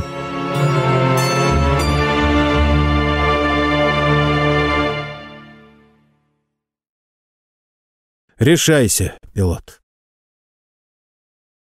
Марсианка шла, чуть покачивая бедрами, откинув назад маленькую круглую голову. Огромные черные глаза слегка прищурены, матовое лицо цвета слоновой кости, золотистые губы открыты в улыбке. На левом виске зеленый треугольник, знак касты хранителей тайны. Климов вздохнул. Он все еще не мог привыкнуть к загадочной красоте дочерей Марса. «Простите, не скажете ли вы мне, где я должна зарегистрировать свой билет?» Она говорила певучим голосом на космическом жаргоне, проглатывая окончание слов. «Налево, пассажирский зал, окно номер три». «Спасибо». Марсианка тряхнула серебряными кудрями и, бросив через плечо внимательный взгляд на Климова, пошла к двери. Палантин из бесцветных шкурок небрежно волочился по полу. «Дрянь!» — С неожиданной злобой подумал Климов. Искательница приключений. Навязали себе на шею планетку с угасающей культурой. Страшно подумать, сколько мы туда вбухали. А что толку? Разве что наши девчонки стали красить губы золотой краской. Туристочка. Он отвратительно чувствовал себя. От сердца к горлу поднимался тяжелый горький комок, ломило затылок, болели все суставы. Не хватало только, чтобы я свалился. Он проглядел расписание грузовых рейсов и направился в пассажирский зал. В углу, под светящейся схемой космических трасс, группа молодых парней играла в бойк-игру, завезенную космонавтами с Марса. При каждом броске костей они поднимали крик, как на футбольном матче. «Технические эксперты, э, все туда же», — подумал Климов. Он толкнул дверь и зашел в бар.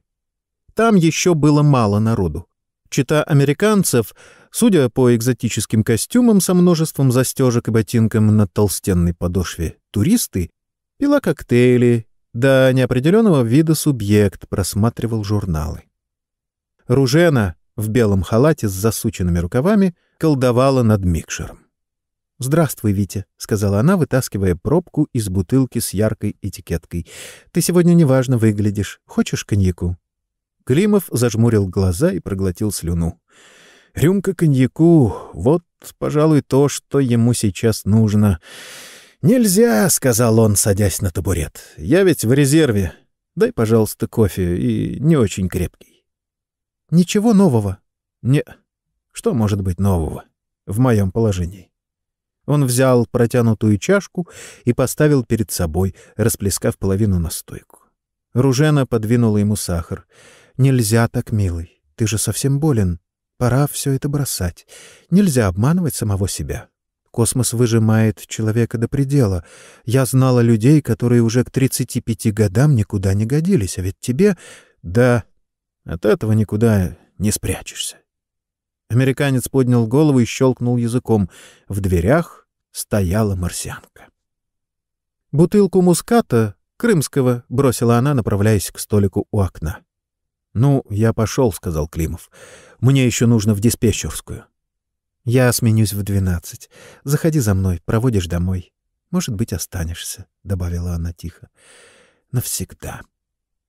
«Зайду», — сказал Климов. «Если освобожусь».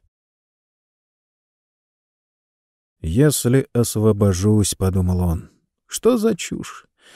Отчего тебе освобождаться, пилот второго резерва? Ты сегодня будешь свободен, как и вчера, как и месяц назад, как свободен уже три года. Никто тебя никуда и никогда не пошлет. Тебя терпят здесь только из сострадания, потому что знают, что ты не можешь не приходить сюда каждый день, чтобы поймать свой единственный шанс». Приходишь в надежде на чудо, но чудеса бывают только в сказках. У дверей он столкнулся с толстым низеньким человечком в униформе международного космодрома. «Как дела, Витя?» «Отлично. Самочувствие?» «Великолепное.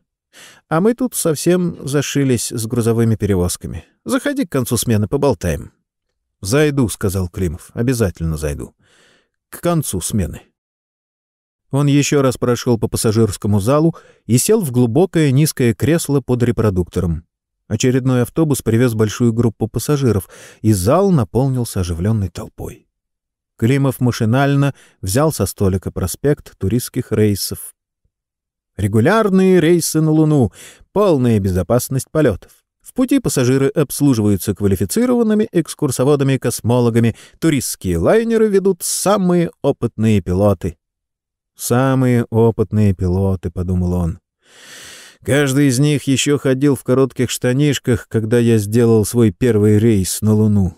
А сейчас самые опытные. Что ж, видно, действительно пора кончать эту комедию. Ружена права. Сейчас, пилот, ты пойдешь в диспетчерскую и скажешь, что завтра...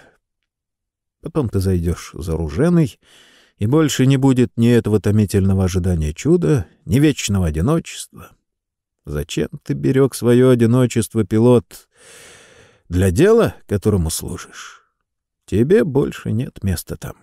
Теперь тебе на смену пришли самые опытные. Те, кто еще сопливыми щенками носил на школьных курточках памятные жетоны с твоим портретом. Ну, решайся, пилот. Диспетчер, девушка в новенькой с иголочки форме со значком Космической Академии на груди, смерила его колючим взглядом серых глаз. «Почему вы не на месте? Только что отправили в больницу второго пилота с 016 Кроме вас никого в резерве нет. За три дня 12 внеплановых рейсов. Сможете лететь?» «Смогу». «Бегите скорее в санчасть. Ваше дело уже там. Первый пилот э, Притчорт. Вы его найдете в пилотской. Старт через 40 минут. Счастливого полета!» «Спасибо». Климов закрыл за собой дверь и прислонился к стене. «016 рейсовый на Марс. Бегите скорее в санчасть». «Нет, дудки. Пусть бегают самые опытные. У них не бывает сердцебиений». Он стал медленно подниматься по лестнице, останавливаясь на каждой ступеньке. «Фамилия?» «Климов, второй пилот с 016-го. Раздевайтесь». Непослушными пальцами он расстегнул китель. «До трусов». Десять оборотов, двадцать, тридцать, сто. Все быстрее вращение центрифуги, все медленнее и слабее толчки сердца. Невообразимая тяжесть давит на живот, сжимает легкие. Тупые тяжелые удары по затылку. Рот жадно ловит воздух. Сто двадцать. Огненные круги бешено вращаются перед глазами, рвота поднимается из желудка и комом застревает в горле. Сто тридцать. Невыносимая боль в позвоночнике. Сто тридцать пять. О чудо! Невесомость! Он парит в свободном полете. Черная бездна усеяна звездами, синими, красными, фиолетовыми. Какое блаженство! Если бы только так не сжал загубник кислородного аппарата! Какой болван придумал эти новые скафандры! «Спокойно, Климов, глотайте, глотайте!» Врач вынул у него изо рта ложку и взглянул на часы, проверяя пульс. «Сколько вам лет?» «Там написано пятьдесят два». «Вы же давно имеете право на пенсию. Какого черта?» Я не могу. Глупости? Врач подошел к столу и открыл личное дело. С моей стороны было бы преступление выпустить вас в полет. Ничего не поделаешь, батенька. Возраст есть возраст. Сколько лет вы летаете? Тридцать. Из них три в резерве. Вот видите? Он перелистывал послужной список. Две аварии за последние пять лет. А до этого... Постойте. Вы что, и есть тот самый Виктор Климов. Тот самый. Врач тихонько свистнул. «Решайся, пилот, это твой последний шанс. Один рейс, очень прошу вас». «С кем вы летите?» «Первый пилот Притчурт». «Хорошо», — помедлив мгновение, врач поставил размашистую подпись на путевке. Я поговорю с ним, чтобы он вас щадил, особенно на перегрузках. Счастливого полета. Спасибо. Минутку. Вы помните наш уговор? Последний рейс. Вот таблетки. Без особой надобности не принимайте. Так помните? Помню. Простите, вы Притчард? Широкоплечий верзила, расправлявшийся с полукилограммовым бифштексом, поднял рыжеволосую голову. «Угу!» «Виктор Климов назначен к вам вторым пилотом». Притчорт из-под лобья бросил на него взгляд. Уважение пополам с жалостью. Самые опытные всегда смотрели на него таким взглядом. «Очень приятно. Садитесь. Что вы будете есть?» «Спасибо, я никогда не ем перед стартом». «Напрасно. Может быть, кофе? Я уже пил. Первый пилот молча жевал. «Начальство», — подумал Климов. «Сосунока — начальство». «Вы летали на шестой серии?» Климов замялся. «Вообще не приходилось, но я прошел курсы переподготовки». «Великолепно!» В голосе Притчарда было все, что угодно, кроме восторга. «Старт в 23.30», — сказал он, отодвигая тарелку. Сейчас объявят посадку. Я пойду оформлю документы, а вы пока проверьте укладку груза». «Я не должен присутствовать при посадке?» «Нет, там Рита. Она справится». Объявили посадку, и пассажиры устремились к выходу на летное поле. Климов зашел в бар. «Я улетаю на 016-м». «Ох, Витька!» — радостное выражение на лице Ружены быстро сменилось тревожным. «Да разве ты можешь такой?» «Ерунда. Врач сказал, что я вполне в форме». «Ну, поздравляю». Она перегнулась через стойку и неловко чмокнула его в щеку. «Буду ждать». «Прощай». «Подожди, Витенька». Она торопливо расстегнула халат и оторвала пуговицу от блузки. «На счастье!» Благодарить не полагалось. У служебного выхода он небрежно показал дежурному путевку. «Летите, Климов?» «Лечу. Вторым пилотом на 016-м. Вторая площадка налево». Климов вышел на поле. Вдали, за железобетонной оградой, высилась стальная громада стартовой башни с устремленной ввысь ракетой. Он поднял голову и посмотрел на маленькую красноватую звездочку в небе. «Тебе здорово повезло», пилот. Рука нащупала в кармане пуговицу и судорожно сжала ее. У подножия башни высокая, тонкая стюардесса усаживала пассажиров в лифт. Климов взглянул наверх и направился к трапу. Он уже был на высоте грузового отсека, когда вновь почувствовал тяжелый горький комок в груди. Прислонившись к перилам, он взглянул вниз и сжал зубы, чтобы побороть головокружение. Только этого не хватало. Неужели боязнь высоты? Он поднял взгляд вверх, и вид мерцающих звезд неожиданно принес облегчение. Грузовой отсек был забит до отказа. Путаясь в многочисленных оттяжках креплений, Климов ползком пробрался в кормовую часть.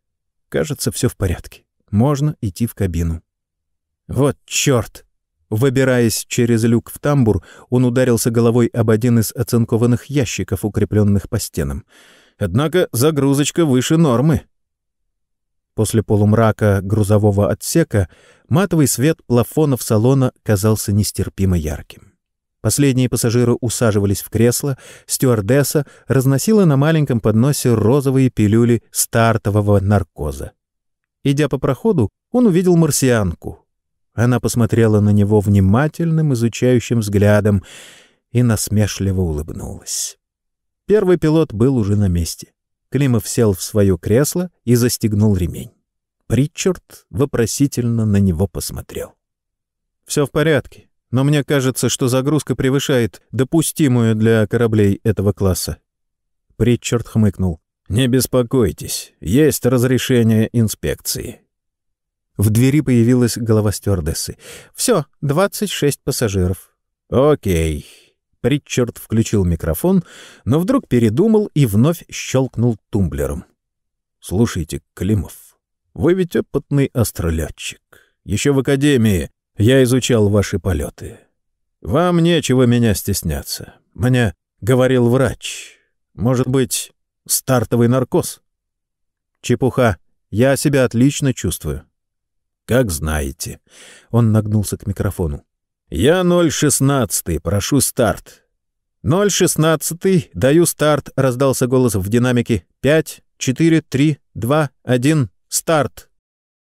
Стрелка указателя ускорения медленно тронулась с места и, нерешительно задержавшись на какое-то мгновение, стремительно двинулась дальше.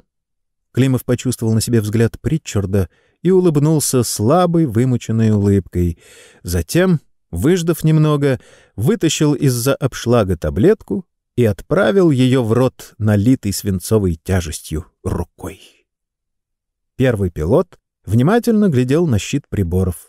Прием допинга на взлете и посадке был категорически запрещен уставом. Действие таблетки сказалось мгновенно. Теперь вибрация и тяжесть не казались такими мучительными. Ричард передвинул маленький рычажок на пульте — Стрелка указателя перегрузки пошла вниз. «Я 016», — сказал он в микрофон. «Старт благополучный, курс на заправочную станцию». «Я вас слышу, 016», — отозвался голос. «Старт благополучный, заправочная готова вас принять». Плавное торможение. Две вспышки бортовых дюз, и корабль повис в магнитной ловушке заправочной станции. «Ловко это у него получилось», — подумал Климов. Ай да самый опытный. Притчард отстегнул ремень. «Послушайте, Климов, заправка продлится около трех часов. На взлете вы мне абсолютно не нужны. Набор второй космической — это не шутка. Отправляйтесь спать. Две таблетки снотворного, через 20 часов меня смените. Да, но выполняйте распоряжение. При такой автоматике я могу подремать здесь. Ясно? Ясно. В синем свете ночных ламп лица пассажиров казались мертвенно-бледными. Они лежали навзничь в откинутых креслах, скованные стартовым наркозом. На переднем сиденье скорчившись, спала стюардесса. Климов прошел в крохотную каюту экипажа и, сняв ботинки, лег на диван. У изголовья, на столике, лежала коробочка со снотворным. «Выполняйте распоряжение». Он вздохнул и одну за другой принял две таблетки. «Все-таки тебе здорово повезло, пилот», — усмехнулся он, закрепляя спальные ремни. Климов проснулся от странного щемящего чувства тревоги. Несколько минут он лежал на спине с закрытыми глазами, не в силах побороть действие снотворного. Который час? Он отстегнул ремни, рывком сел и взлетел к потолку. Держась за скобы на переборке, осторожно спустился вниз и заглянул на часы. Черт знает что, проспал. Прошло 36 часов с тех пор, как Притчард отослал его в каюту. Проспал вахту. Позор. Нечего сказать, хорошо начинается его служба на 016-м. Он нагнулся, натянул ботинки с магнитными подошвами и, волоча ноги, с видом провинившегося мальчишки, поплелся в рубку. Чита американцев, расстегнув ремни, дремала на креслах. Юные эксперты снова сражались в бойк, оглашая кабину веселым хохотом.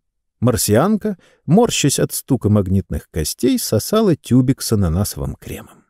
Стюардесса порхала между креслами, убирая остатки завтрака. Климов открыл дверь рубки. «Простите, Причард, я знаю, что это свинство, которому нет оправдания». «Бросьте, Климов, я рад, что вы хорошо выспались. Корабль на курсе, можете дремать здесь, в кресле, а я прилягу. Когда вас сменить?» «Когда угодно. Я, кажется, выспался на всю жизнь». «Хорошо», Первый пилот взглянул на часы. «Я, пожалуй, тоже приму таблетку». Нет ничего более спокойного, чем вахта в свободном полете. Климов откинулся в кресле и закрыл глаза, прислушиваясь к монотонному пощелкиванию курсографа. Ну вот, он снова в космосе. Теперь, вероятно, надолго. Пилотов, назначенных из резерва, редко снимают после первого рейса. Во всяком случае, несколько рейсов ему обеспечено. А там... Два взрыва, один за другим, рванули корпус корабля. Погас свет.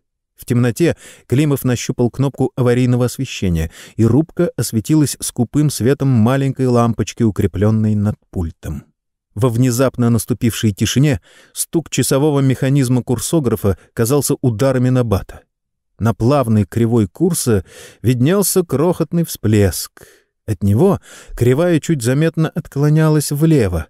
Этого было достаточно, чтобы корабль пролетел мимо цели на расстоянии миллионов километров.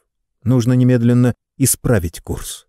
Две-три вспышки из бортовых дюз, и тонкая кривая на бумажной ленте вновь ляжет посередине красной черты, вычисленной со скрупулезной точностью электронными машинами на Земле. Он нажал педаль маневрового двигателя левого борта. Тишина. Магнитные подошвы больше не притягивались полом, и он двигался по проходу нелепыми скачками, провожаемый встревоженными взглядами пассажиров. Между дверью, ведущей в тамбур и комингсом переборки, лежал иней. Климов прижал ухом к изоляции двери и услышал тонкий свист. Там, за дверью, была чудовищная пустота, именуемая космосом. Он взглянул на шток автоматического клапана, установленного на трубе, подающий воздух из регенерационной станции в кабину. Клапан был закрыт. Это могло означать только одно — разрыв трубопровода. «Что-нибудь серьезное, Кэп?» — спросил американец. «Нет, микрометеорит пробил обшивку и повредил проводку. Через два часа все будет исправлено. Вот только обед, вероятно, немного запоздает. Еще бы, ведь все запасы продовольствия находились там, за этой дверью. Два часа. Он бросил взгляд на анероид. Давление в кабине на 5 миллиметров ниже нормального. Через два часа они начнут задыхаться, если только запас кислорода в аварийных баллонах...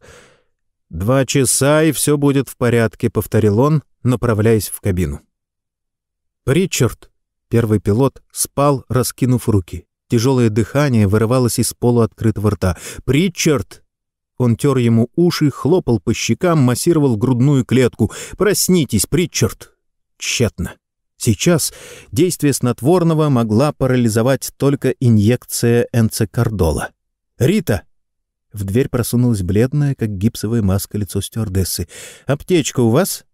«Она в тамбуре. Сейчас принесу». «Не нужно. Я думаю, идите на место. Я буду в рубке. Включите поглотители углекислоты. Кислород расходуйте очень экономно. Никого не подпускайте к двери, ведущей в тамбур». «Хорошо». «Ну, решайся, пилот».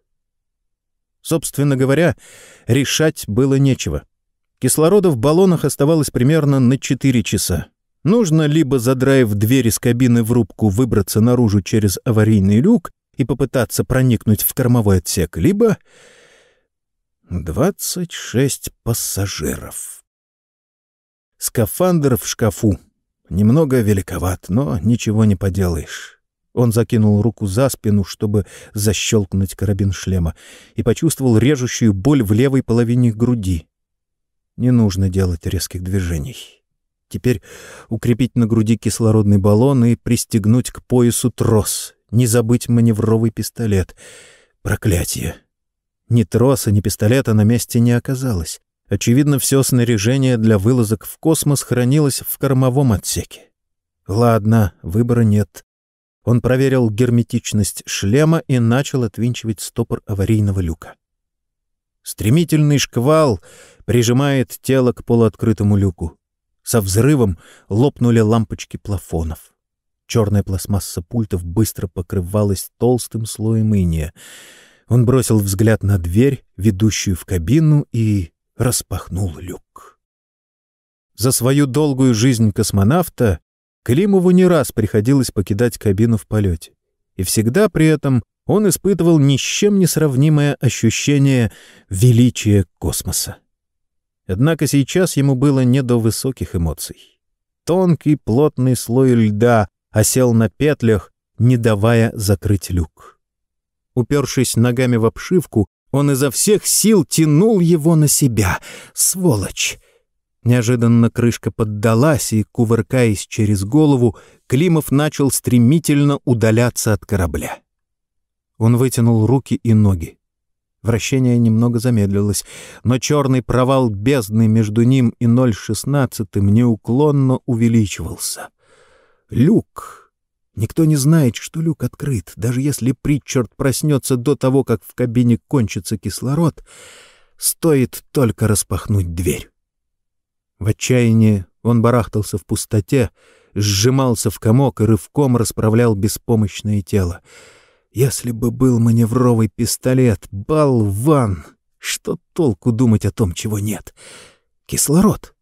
Он перевел рычажок обогрева баллона в крайнее положение и, выждав подходящий момент, резко открыл вентиль продувания. Стоп. Еще раз. Стоп.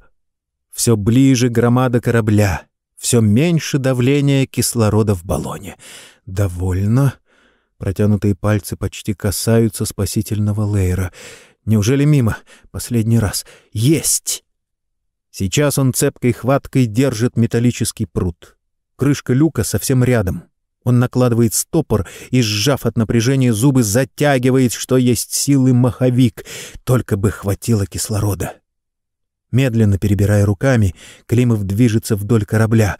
Ага, вот она, зияющая дыра с рваными краями. С трудом он протискивает туловище внутрь. Так и есть. Взорвались эти чертовы ящики в тамбуре. Он нагибается и в свете фонарика различает дыру размером в кулак в трубопроводе, подводящем регенерированный воздух в кабину. Края ее затянуты льдом. Сноп белых снежинок фонтаном вздымается вверх. Слава богу, регенерационная станция работает. Он подходит к двери, ведущей в машинный отсек, и кладет на нее руку. Чуть ощутимая вибрация от работающих компрессоров похожа на биение сердца. Нужно торопиться. И так слишком много драгоценного воздуха выброшено в космос. Сначала пластырь на трубу, затем заняться кабелем, заплату на обшивку, после... Витя! Ружена уже сняла халат. Костюм из мягкой серой ткани плотно облегал ее стройную фигуру. «Пойдем, милый. 0.16 на Марс уже улетел. Теперь до утра ничего не будет. Мы еще успеем на автобус. Посмотри, на кого ты похож. Пошли. Примешь ванну, выпьешь чаю с малиной. Завтра я выходная, проваляешься весь день в постели». «Ну, решайся, пилот». «Нет», — сказал он, скользнув взглядом по расписанию рейсов, — я буду ночевать в общежитии. Завтра в семь утра нужно быть здесь к отлету маршрутного на Луну. Ведь я в резерве. Мало ли что может случиться. Проект аудиокниги «Клуб». Илья Варшавский. Сборник рассказов «Вечные проблемы». Читает Александр Дунин.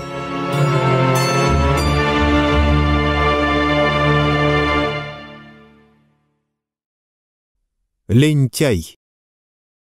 У антропоида было фасеточное панорамное зрение. Рустан Ишимбаев видел сквозь веки, прикрытые дисками обратной связи, уходящую вдаль галерею и две стены с розовыми пористыми наростами. Высота галереи то увеличивалась, то уменьшалась, и нужно было все время регулировать длину ног антропоида, чтобы его руки, вооруженные фрезами, находясь на уровне плеч, срезали примерно полметра породы на своде. Тучи голубой пыли окутывали голову антропоида, и Рустану казалось, что эта пыль забирается в его, Рустана, легкие, покрывает глазные яблоки, щекочет ноздри. Он втянул носом воздух и неожиданно чихнул. Луч прожектора, укрепленного на голове антропоида, метнулся кверху и пошел вниз. «Обезьяна чертова!» — подумал Рустан. Он снял с глаз диски, перевел рычажок пульта на программное управление, включил экран и отвел кверху колпак. Стало легче. Теперь он видел галерею в обычной перспективе. От кабины пульта до антропоида было около 50 метров. Рустан взглянул на часы. До конца вахты оставалось два часа, а норма выполнена меньше, чем на 10%. 25 кубометров породы ради нескольких голубых крупинок. Он откинулся на спинку кресла и повернул верньер увеличения. Два сортировщика проворно откатывали бульдозерами кучи пыли из-под ног антропоида, проталкивали ее через проходы и рассыпали ровным слоем по полу. Рустан сфокусировал экран на ящике, расположенной неподалеку от пульта. Один из них до половины был заполнен костями. Побочный продукт, добыча биологов. Второй — пуст. Сплюнув, Рустан витиевато выругался. Вот так всегда.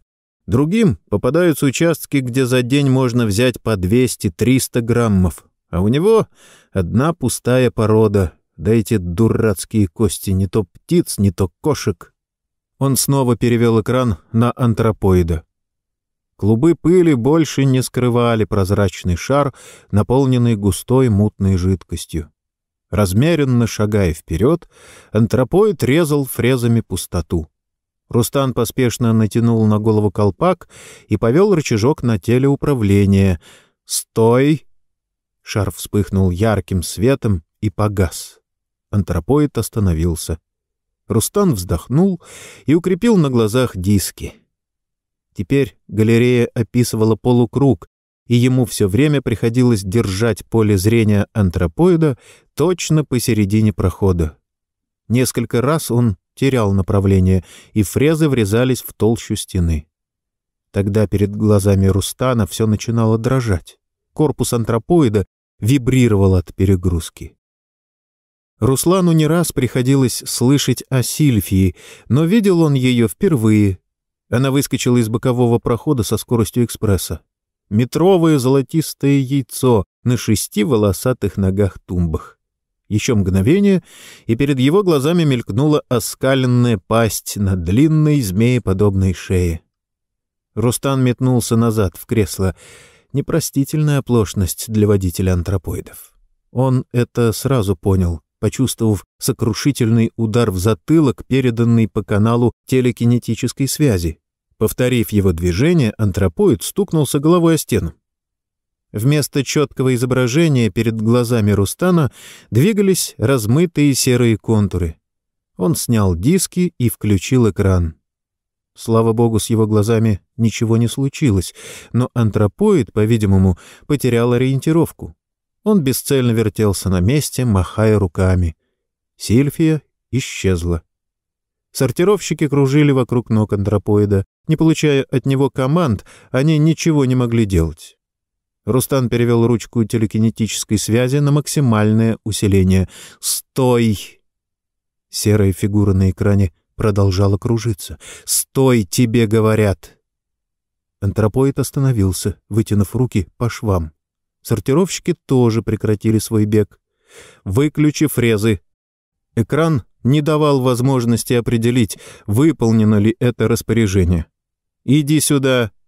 Антропоид повернулся лицом к экрану и, наваливаясь на стены, пошел к кабине. «Стоп! Повернись!» Так и есть. На затылке большая вмятина. Под придавленной оболочкой в жидкости клубятся искры. Рустан вздохнул и снял трубку телефона. «Алло, ремонтная?» «Говорит седьмой участок. Пришлите монтера».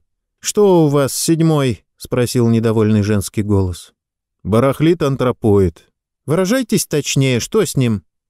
Повреждена голова, нарушена ориентировка, нет обратной связи на видеодисках. «Так, Надеюсь, все? А вам что, мало? Послушайте, седьмой, я вам не подружка, чтобы шуточки шутить. Как это вас угораздило? Да так, Рустан замялся. Кусок породы. Зазевались? Послушай, девочка. Голос Ишимбаева прервался от злости. Разве тебе мама не говорила, что совать нос в чужие дела неприлично? Твое дело принять заказ, а причины будут выяснять взрослые дяди, те, кто поумнее. Бац! Ту-ту-ту! Дура! Он вытер пот со лба. Что ж теперь делать? Нужно в диспетчерскую. Рустан снова набрал номер. «Слушает дежурный диспетчер», — говорит Ишимбаев седьмого участка. «А, Ишимбаев, как у вас дела? Задание выполните?» «Не знаю, у меня антропоид вышел из строя». «Монтера вызвали?» «Да нет, звонил в ремонтную, там сидит какая-то... Грубит, вешает трубку». «Подождите у телефона». Рустан услышал щелчок переключателя, положил трубку на пульт и закрыл глаза. «А, схлопотал себе работенку, болван», — подумал он. Из трубки до него донеслись обрывки фраз. Все равно я никому не позволю. Вы не на танцульке, вернетесь на землю, капризничайте как хотите, а тут график. Пусть не хамит. Даю вам два часа срока. Такое повреждение возьмите в главной кладовой. Нельзя в зоне, делайте в мастерской. Да, это приказ. Алло, Ишимбаев? Рустан открыл глаза и взял трубку. Я Ишимбаев. Ваш антропоид ходит? Ходит. Плохо ходит. Гоните его в ремонтную». «У меня нет обратной связи». «Ничего, дойдет. У вас карта выработки есть?» «Есть. Вот гоните его по главной штольне до круговой галереи, а там его возьмет на себя ремонтная. А на какой волне вы работаете?» «Пси-36». «Хорошо, я им сообщу. Пси-36. Сколько кубометров вы сегодня дали?» «Примерно 25». Диспетчер свистнул. «Что же это вы?» Рустан покраснел. «Да вот, все время барахлил антропоид». «Так, а какая добыча?» «Пошел бы ты», — подумал Ишимбаев. Ему совсем не нравился этот разговор. Похоже, вдобавок ко всему сегодня еще придется писать объяснительную. «Не знаю», — соврал он. «Еще не успел проверить. Кажется, очень мало. Почти ничего. «Послушайте, Ишимбаев!» В голосе диспетчера появились нотки, заставившие Рустана сжать изо всех сил трубку. «Ваш участок портит нам все показатели». «Ладно», — перебил Рустан, — «я все это уже слышал. Лучше обеспечьте ремонт. Не могу же я голыми руками. Вот придет антропоид, нажму, отработаю». Черт знает что. Рустан сам не понимал, как у него вырвалась эта фраза. Меньше всего ему хотелось сегодня возвращаться на вахту. Однако отступать было поздно. «Хорошо, Ишимбаев», — голос в трубке потеплел. «Через два часа ваш антропоид будет готов. Я уже распорядился. Надеюсь, сегодня вы дадите 300 кубометров. Договорились?» «Ладно», — Ишимбаев положил трубку. «Подними правую руку», Изображение на экране оставалось неподвижным.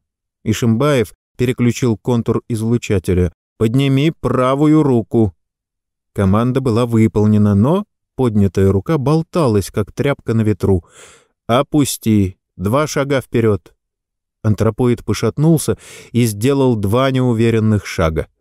Телекинетический излучатель работал с недопустимой перегрузкой. Внутри колпака было жарко, как в печке. Рустан отвел его вверх и положил на колени схему Штолин. «Ага, вот она, главная галерея. Ну и лабиринтик. Ведь разведано не более десяти процентов верхнего яруса. После той истории спускаться в нижние галереи запрещено даже геологам. Да, нечего сказать, райская планетка. Один пейзажик чего стоит». На поверхности Рустану пришлось быть всего один раз, по дороге с космодрома, но и этого было вполне достаточно, чтобы навсегда отбить охоту бывать там. Черт с ним, уж лучше проторчать еще год здесь, не видя дневного света. Он опять опустил на голову колпак.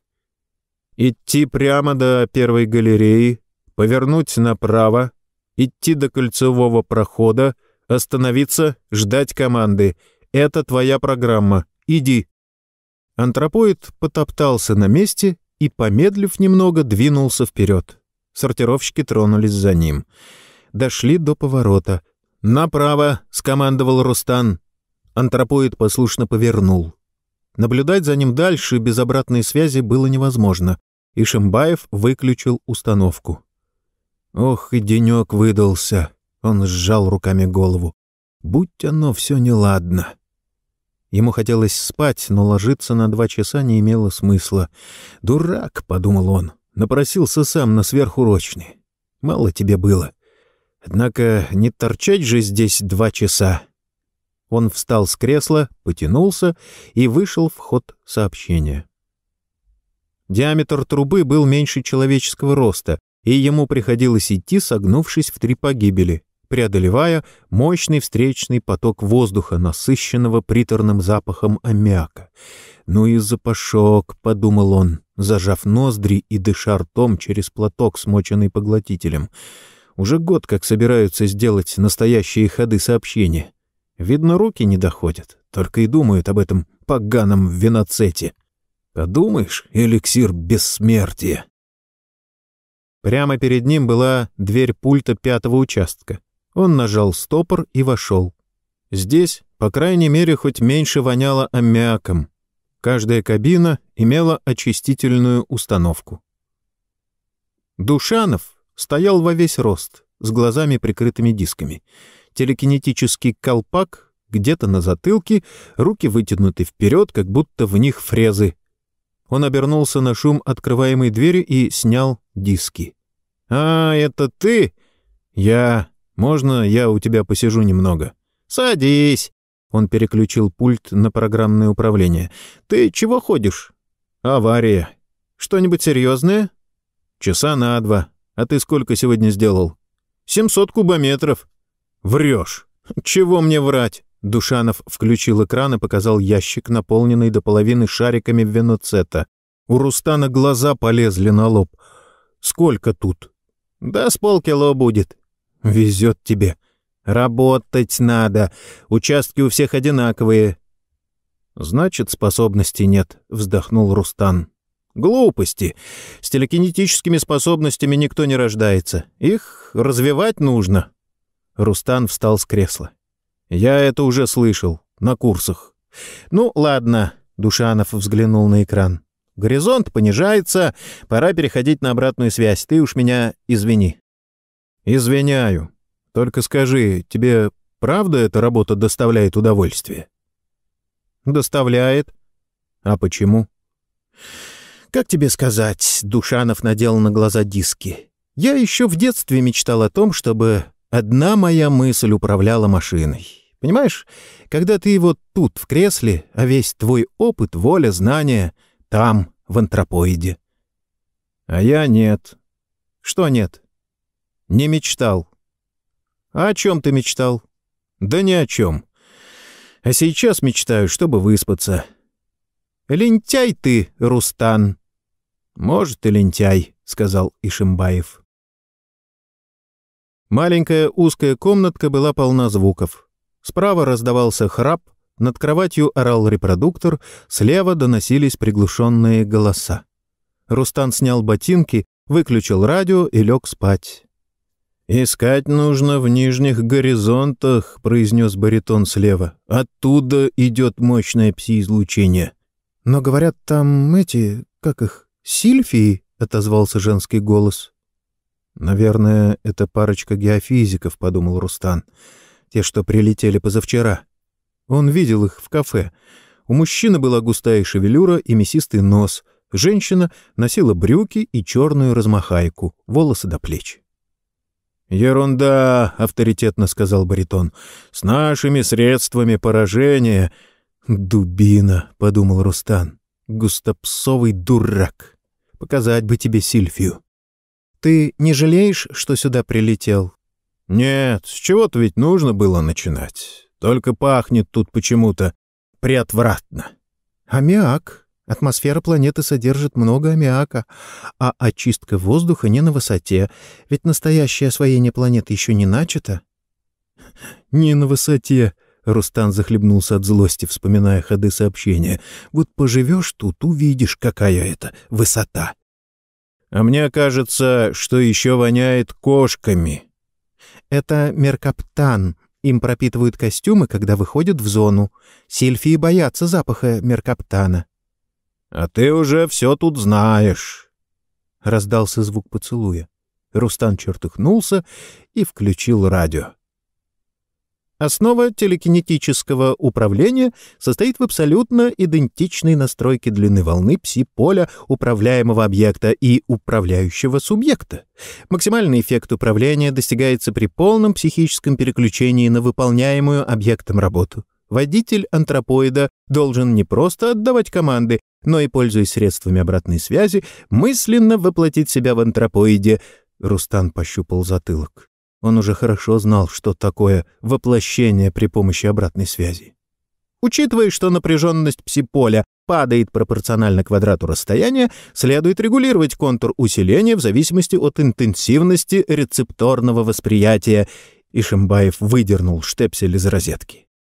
Разгадка терапевтической активности виноцета практически решает проблему долголетия, урчал баритон слева.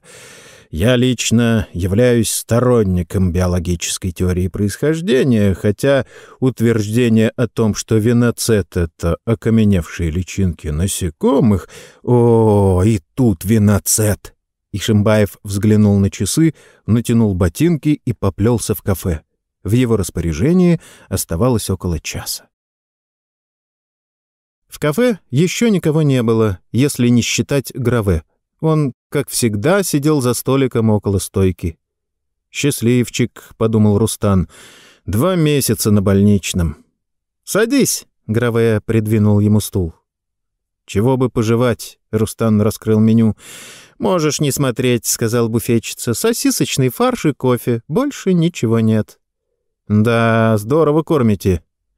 «Ты что, заболел?» — спросил Граве. «Нет, перерыв для ремонта». «Завтра обещали подкинуть мясо», — сказала буфетчица. «На Новый год руководящий хочет сделать котлеты с макаронами». «Неплохо бы», — облизнулся Граве. «И еще по рюмке спирта на брата». «По рюмке», — хмыкнул Рустан. «Если не нравится, можешь не пить», — сказала буфетчица. «Охотники всегда найдутся».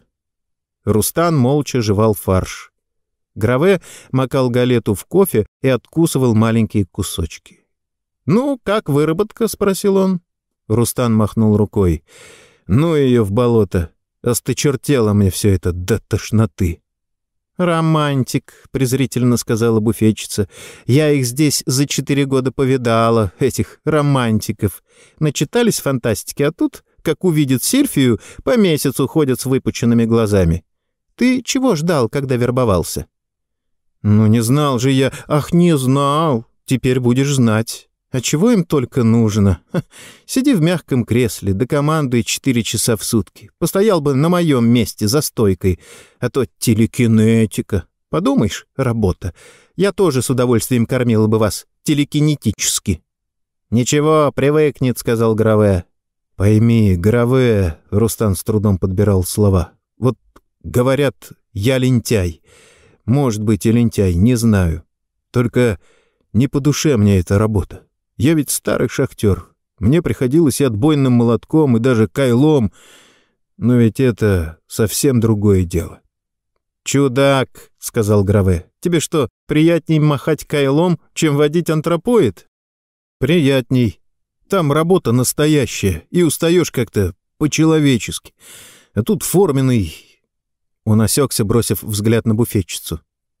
«Нужно тренироваться», — сказал Граве. «Когда освоишься, поймешь, что за машиной тебе с твоим кайлом не угнаться».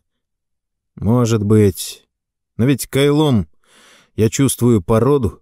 Она же разная, порода. Здесь твердая, там мягкая. Работаешь, а сам соображаешь, где рубить, а где сама отвалится». Рустан вздохнул, взглянул на часы. «Ладно, хватит трепать языком. Налей мне кофе». Оставалось 20 минут. Если бы кто-нибудь знал, как ему не хотелось идти на вахту. За два часа температура внутри кабины упала ниже нуля. Рустан включил отопление и набрал номер ремонтный. «Да», — на этот раз голос был мужской, — «я Ишимбаев с седьмого участка. Как там мой дружок?» «Какой дружок?» «Ну, Антропоид. Диспетчер приказал. «А, это вы, Шимбаев.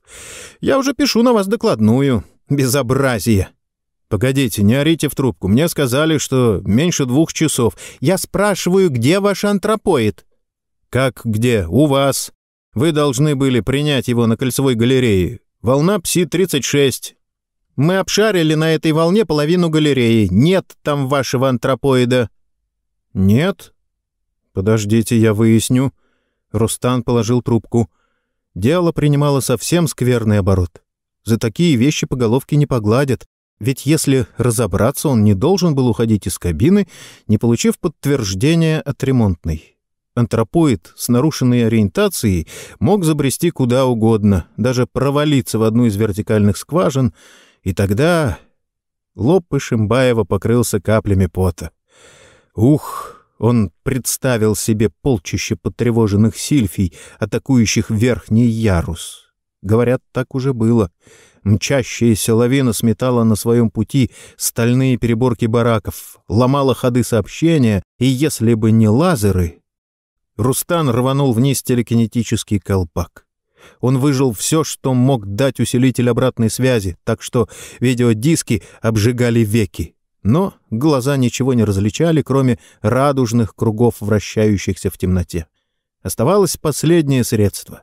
Рустан открыл колпак, вырвал балластное сопротивление второго контура и закоротил провода.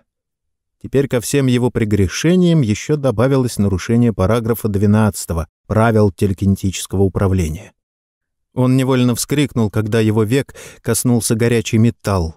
Запахло паленым, и все же Срывая с обожженных век диски, он на мгновение увидел перед собой в горизонтальном развороте координатора кусок обвалившейся породы с характерными следами фрез. Антропоид лежал где-то во втором ярусе, очевидно придавленный рухнувшим сводом. На выход в зону нужно было брать специальное разрешение, Но за этот день Ишимбаев совершил уже столько подвигов, что еще одно нарушение устава по существу ничего не меняло. Он натянул маску, надел пояс с аккумуляторами, включил фонарь и взял стоящий в углу отбойный молоток. Меркаптан. Маленький флакон с омерзительно пахнущей жидкостью, отравлявший воздух в кабине. Несколько дней назад, завтракая, он, помнится, отпихнул его ногой в угол. Став на четвереньки, Рустан обшарил каждый сантиметр пола. Флакон исчез, как будто его никогда и не было. Выходить без защитного запаха в зону было рискованно, но для того, чтобы просить меркаптан на соседнем участке, пришлось бы... Рустан махнул рукой и сорвал пломбу с бронированной двери. Все это выглядело совсем иначе, чем на экране. Розовые наросты на мерцающих голубых стенках шевелили тысячами маленьких лепестков. Рустан ткнул пальцем в один из них и отдернул руку. Палец свело судорогой.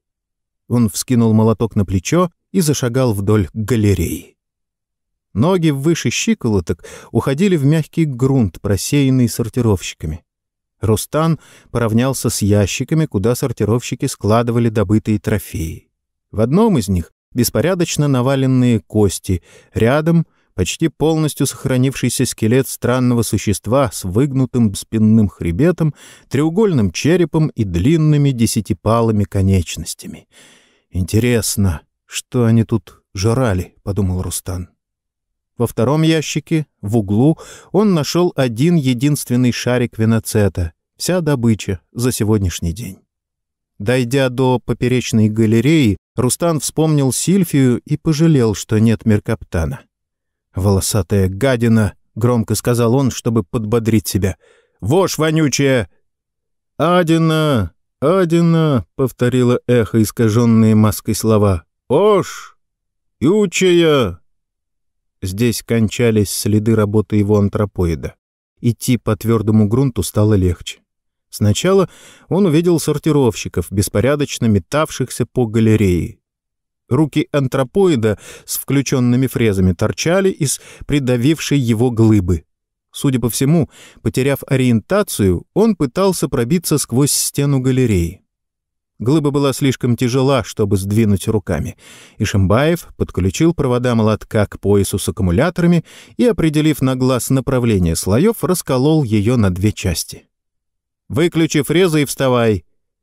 По-видимому, рассказы о водителях, умеющих командовать антропоидами без телекинетического усилителя, были, мягко выражаясь, преувеличением.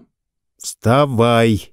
Он присел на корточки, подхватил антропоида под мышки и, крякнув от натуги, поставил на ноги. Антропоид развернулся на месте и с вытянутыми на высоте плеч руками пошел на Ишимбаева. «Повернись кругом!» Вращающиеся с грозным воем фрезы приблизились к лицу Рустана. Он присел. Антропоид тоже согнул ноги в коленях. Рустан еле успел отскочить. «Выключи фрезы, болван!» Чуть уловимые следы пси-излучения влекли искалеченный мозг антропоида к его водителю. Рустан побежал. Притаясь за углом поперечной галереи, он прислушивался к неторопливому, мерному стуку стальных подошв. Дойдя до поворота, антропоид на мгновение остановился, как бы к чему-то прислушиваясь, и решительно повернул налево. Сортировщики послушно плелись сзади. Смертоносные фрезы были вновь нацелены в грудь Ишимбаева. Ширина коридора не превышала одного метра, и шагавший в развалку антропоид задевал плечами за стены, поднимая клубы голубоватой пыли. «Стой, тебе говорят!» Яркий свет приближающегося прожектора слепил глаза. Рустан бежал, чувствуя сквозь поглотитель маски невыносимое зловоние. Галерея начала описывать полукруг, круто спускаясь вниз. Это была западня. Там, в первом ярусе, среди зарослей белых колючек, таилось нечто более страшное, чем фрезы обезумевшего антропоида. Ответвляющийся вправо узкий проход походил на трещину в породе. Неизвестно, вел ли он куда-нибудь, но выбора не было. Теперь только оставалось ждать, как поведет себя дальше антропоид. Проход был для него слишком узок, Стальное подобие человека топталось у входа, стараясь поймать Рустана в луч прожектора. «Худо», — подумал Рустан, прикрыв глаза от слепящего света. «Совсем худо получается. Нужно уходить».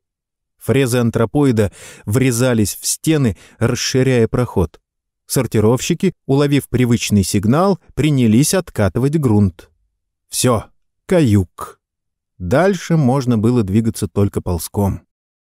Скрежет фрез неумолимо приближался. «Стой, чертово отродье!» Дрожа от ярости, он двинулся навстречу антропоиду. Поток нестерпимо яркого света бил по обожженным векам, резал воспаленные глаза. «Врешь, ублюдок!» В пучке прожектора перед Рустаном черной тенью возник кусок нависшей породы. «Врешь!» — он прикинул расстояние от антропоида и поднял отбойный молоток. Сейчас все решали секунды. Нужно было обрушить многотонную громаду в тот момент, когда прозрачный колпак окажется под ней. Фрезы легко врезались в породу, срезая ровные толстые пласты. Антропоид продвигался вперед с точностью часового механизма. У машины было одно неоспоримое преимущество — она не знала усталости. «Врешь, тут головой работать нужно». Последним, что оставалось в памяти Рустана, были горящие зеленым светом фасеточные глаза и дрогнувший свод над головой. Рустан очнулся и застонал. От удара по темени все кружилось перед глазами. Он поднес руку к голове. Под пальцами был большой мягкий отек. Он встал на четвереньки и пополз туда, где под рухнувшим пластом в свете фонаря поблескивала нелепо дергавшаяся ступня антропоида. Между обломками породы и сводом было достаточно пространства, чтобы ползком выбраться в галерею. Рустан выпрямился. Там, впереди, голубоватым светом мерцали стены лабиринта. «Ну и лежит тут», — подумал он, взбираясь наверх, — «а я пойду». Рустан последний раз взглянул вниз, и неожиданно вид шевелящейся ноги вызвал у него жалость. «Ну, чего дрыгаешь, дурак?» — сказал он, соскакивая обратно. «Ладно, не брошу». Напряжение в аккумуляторах село, и нужно было тщательно выбирать направление слоев, по которым колоть пласт. «Видишь, брат, в нашем деле голова требуется, а ты только дрыгать и можешь». Он с трудом ворочал огромные куски породы. «Это что?» — сказал он, пыхтя от натуги. «Это разве обвал? Вот у нас в шахте один раз». Сейчас руки антропоида были свободны. Рустан с опаской поглядел на фрезы. Они не вращались. Очевидно, их заклинило. «Ну, вставай!» Он поднял антропоида, но тот был совсем плох. Шарнирные ноги все время выплясывали какой-то танец. «Перепугался ты, что ли?» Рустан прислонил антропоида к стене и принялся за расчистку прохода. Места было совсем мало, приходилось оттаскивать самые большие куски назад. От усталости у него тряслись руки. Эх, как неладно получилось! Хрупкие панцири сортировщиков были раздавлены в лепешку. Рустан отпихнул их ногой. «Пошли!» Он обнял антропоида за плечи и, подталкивая, повел вперед. «Вот, получайте свое добро!» Антропоид шлепнулся на пол. Он лежал лицом вниз, по-прежнему дергая ногами. Мастер ремонтный нагнулся и выключил у него блок питания.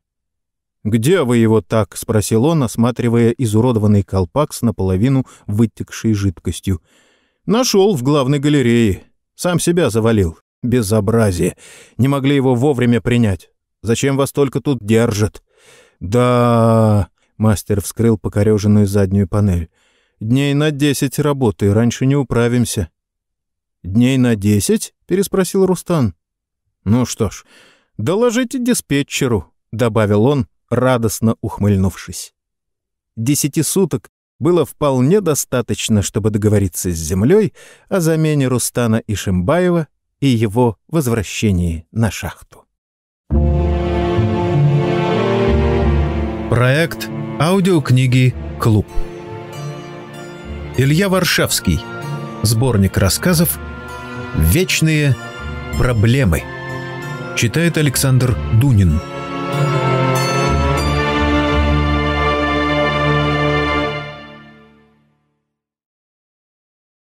Вечные проблемы Соломенно-желтый шар медленно вращается на экране. Раскаленные пустыни, высохшие водоемы, растрескавшиеся голые скалы. Мертвая, покинутая планета. Народный уполномоченный повернул выключатель и откинулся в кресле.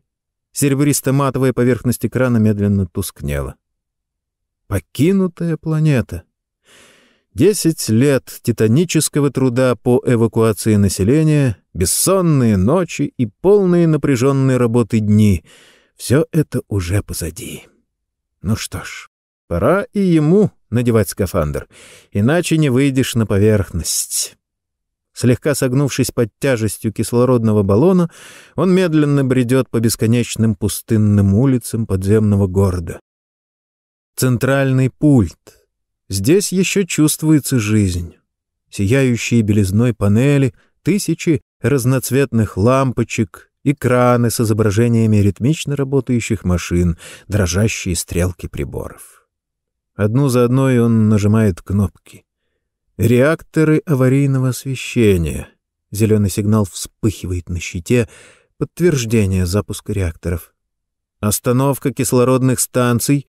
Остановка фабрик синтетической пищи, лаборатории органического синтеза, климата, промышленных предприятий, связи, транспорта, горнорудной промышленности. Теперь уже почти все стрелки приборов стоят на нуле. Гаснут лампочки на щитах застыли в непривычной неподвижности изображения машин на экранах. Подземный мир планеты погружается в сон. Последняя кнопка. Энергоснабжение. Темнеющие экраны.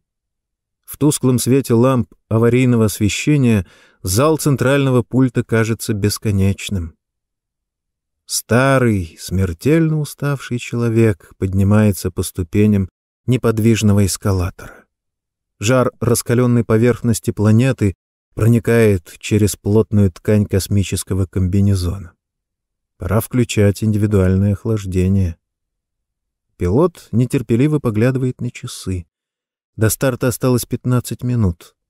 Небольшая задержка, и все навигационные расчеты придется делать заново. Почему же он так медленно идет? «Товарищ уполномоченный, корабль готов к старту!» Экипаж и пассажиры в кабине. Мария уже сняла скафандр? Нет, она в грузовом отсеке. Попросите, пожалуйста, ее выйти. Пилот сокрушенно смотрит на циферблат, но уполномоченный слишком занят своими мыслями, чтобы это заметить. Через несколько минут маленькая фигурка в мешковатом комбинезоне сбегает по трапу. «Что-нибудь случилось?» Голубые глаза тревожно смотрят сквозь стекло шлема. «Простите, что я вас побеспокоил. Мне хочется перед отлетом посмотреть на ваших питомцев». «Пройдем в колонию?» «Нет, вызовите старшего сюда». Мария вытаскивает из купола шлема тонкий прут антенны. «А-381, срочно направляйся к месту старта. Ориентируйся по моим радиосигналам». Пилот, безнадежно махнув рукой, поднимается по трапу. Нужно все подготовить для корректировки расчетов.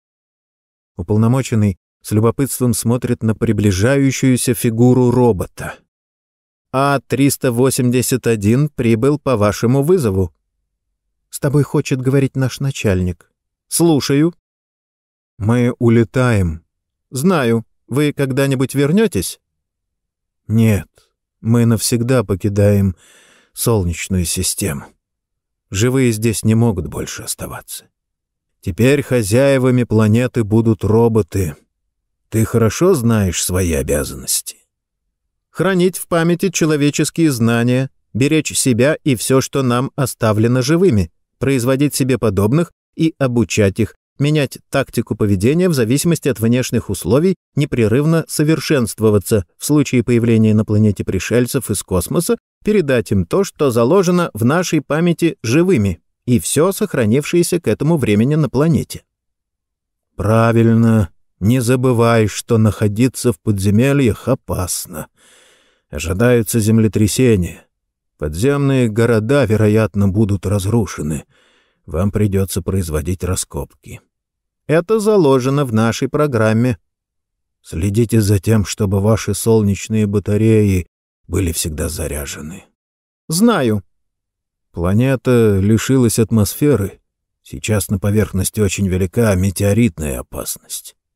Наша колония уже под крышей. Хорошо. Можешь идти. Помни, живые доверили вам все, что ими было добыто за многие миллионы лет. Помню. Иди. Желаю успеха. Удачного полета. Спасибо. Черное небо с нетерпимо ярким светилом над головой. Свинцовые подошвы глубоко ушли в толстый слой желтой пыли. Время идет, а уполномоченный о чем-то думает, забыв про старт. Девушка не решается прервать его размышления.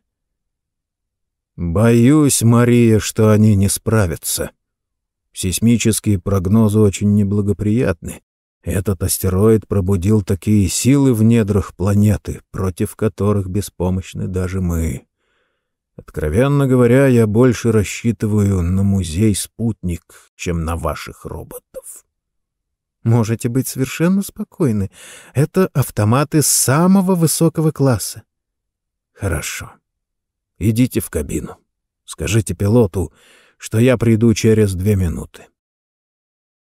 Он ждет, пока девушка скроется во входном люке, опускается на колени и бережно собирает в платиновую шкатулку горсть пыли с лика мертвой планеты. Прошло два миллиона лет, а крохотная, лишенная атмосферы песчинка на краю галактики, лежащая в стороне от маршрутов лайнеров космического содружества, так и не привлекла ничьего внимания. Что же касается роботов, то... Впрочем, лучше послушаем, что они сами говорят. Председатель. Уважаемые коллеги, наш симпозиум посвящен одной из наиболее интересных проблем современной науки — гипотезе немашинных форм жизни. Слово для сообщения предоставляется профессору химического синтеза автомату класса А досточтимому ЛА-3693. Прошу вас, профессор. Ла-3693. Жесткий регламент, принятый на наших собеседованиях, позволяет мне, к сожалению, ограничиться только кратким сообщением о полученных экспериментальных данных и вытекающих из них предположениях. Более подробно материал изложен в тезисах доклада, розданных участникам совещания. В течение последних лет в нашей лаборатории ведутся опыты по синтезу высокомолекулярных углеводородных соединений. В этом году нам удалось создать небольшой комок слизи, проявляющий все признаки того, что мы привыкли называть жизнедеятельностью. Оживление в зале. В жидкой органической среде этот комок обнаруживает способность к самопроизвольному передвижению реагирует на раздражение током и усваивает находящиеся в растворе вещества вследствие не вполне еще разгаданных процессов окисления этих веществ обеспечивается необходимый энергетический жизненный баланс. При отсутствии кислорода в жидкости комок погибает. Наиболее интересным свойством полученных в последнее время вариантов слизи является ее способность, ассимилируя органические соединения, расти и размножаться делением. Таким образом, не подлежит сомнению, что здесь мы имеем дело с совершенно новой формой жизни, резко отличающейся от привычных нам представлений о высокоорганизованной материи. Может быть, где-нибудь во Вселенной существуют миры, где органическая жизнь достигла того же высокого развития, как и на нашей планете машинная. Оживление в зале. Иронический скрип на скамьях автоматов класса «Б». Я понимаю, что автоматов класса «Б» больше интересует техническое применение сделанного открытия. Мне кажется, что способность полученного вещества реагировать на внешнее раздражение позволит использовать ее в некоторых счетно-решающих устройствах, облегчающих работу автоматов, а вследствие, может быть, даже создать на этой базе некое подобие электронного мозга. Председатель. Слово предоставляется заведующему кафедрой эволюции машин автомату класса А, достопочтенному РА-8441. РА-8441. Доложенный здесь нашим ученым коллегой экспериментальный материал очень интересен, и у нас нет никаких оснований сомневаться в его достоверности. Однако я вынужден возразить по поводу некоторых выводов докладчика. Неясно, действительно ли мы имеем дело в данном случае с проявлением жизнедеятельности в полном смысле этого слова. Мне кажется, что реакции на раздражение током могут быть просто следствием изменения поверхностного натяжения комка слизи, может быть, на этом принципе и возможно какое-то моделирование некоторых функций полупроводникового нейрона, однако сомнительно, чтобы из столь примитивных моделей когда-нибудь удалось создать хотя бы жалкое подобие электронного мозга. Не следует забывать, что в основе всякой мыслительной деятельности лежит способность хранить информацию, называемая памятью. При всем разнообразии известных нам видов памяти — магнитной, емкостной, криогенной — ни один из них не может быть осуществлен в органической материи.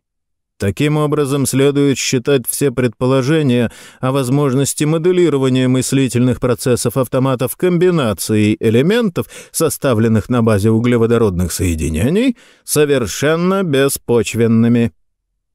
Председатель. Слово предоставляется доктору философии, заслуженному автомату класса А, высокочтимому на 5426. На 5426. Мне хотелось бы подойти к обсуждающейся проблеме с несколько иных позиций, чем это было сделано в предыдущих выступлениях. Прежде всего, требуется определить само понятие жизни — по нашим представлениям, оно складывается из следующих элементов. А. Наличие устройств, превращающих солнечный свет в электрическую энергию, являющуюся основой моторной деятельности организма и протекающих в нем мыслительных процессов. Б. Способности конструирования себе подобных и передачи им накопленного опыта. Может ли органическая материя удовлетворять этим условиям. Мы знаем, что на базе углеводородных соединений нельзя создать фотоэлементы, преобразующие излучение в электрическую энергию. Поддержание энергетического баланса за счет реакции окисления возможно только в жидкой среде, так как в контакте с газообразным кислородом органические существа немедленно бы сгорели, нам удается получать жидкости только в лабораторных условиях. Можно, конечно, пофантазировать и представить себе гипотетический мир, в котором вещество находится в жидкой фазе и содержит все необходимое для жизнедеятельности органических существ. Что же произойдет в этом случае? Бесконтрольное размножение в геометрической прогрессии путем деления очень быстро исчерпает все жизненные ресурсы среды, и размножающаяся материя сама себя лишит того, что служит предпосылкой для ее существования. Вывод напрашивается сам собой. Предположение о существовании в природе углеводородных форм жизни не выдерживает критики. Председатель. «Есть еще желающие высказаться? Вы хотите? Ваш индекс и звание?» «Отлично. Слово предоставляется аспиранту Института истории планеты, автомату класса В, полупочтенному ЮВ-9611-7442». ЮВ-9611-7442. Я, так сказать, мало компетентен и вообще не берусь утверждать. Но мне кажется, в общем, что, может быть, изображение странных существ, попадающихся в раскопках древних поселений эры примитивных машин, считающихся плодом творчества первобытных автоматов, не были ли они на самом деле памятниками культуры органических пришельцев из космоса, подчинивших себе в ту далекую эпоху наших предков? Веселый скрип в зале, переходящий в оглушительный скрежет. Я еще думал, что, может быть, конический спутник нашей планеты, так сказать, дело их рук. Шум в зале, крики, регламент. Простите, я, конечно, так сказать, не предполагал вообще садиться на место. Председатель. Разрешите подвести итоги нашей дискуссии. По-видимому, Сегодня нет никаких оснований считать реальным существование в природе органических форм жизни на базе углеводородных соединений. Что же касается технического применения парадокса, обнаруженного нашим коллегой, то, как мне кажется, попытки использовать его в новых счетно-решающих приборах могут заслужить внимание – хотя на пути реализации этой идеи стоит очень много чисто инженерных трудностей.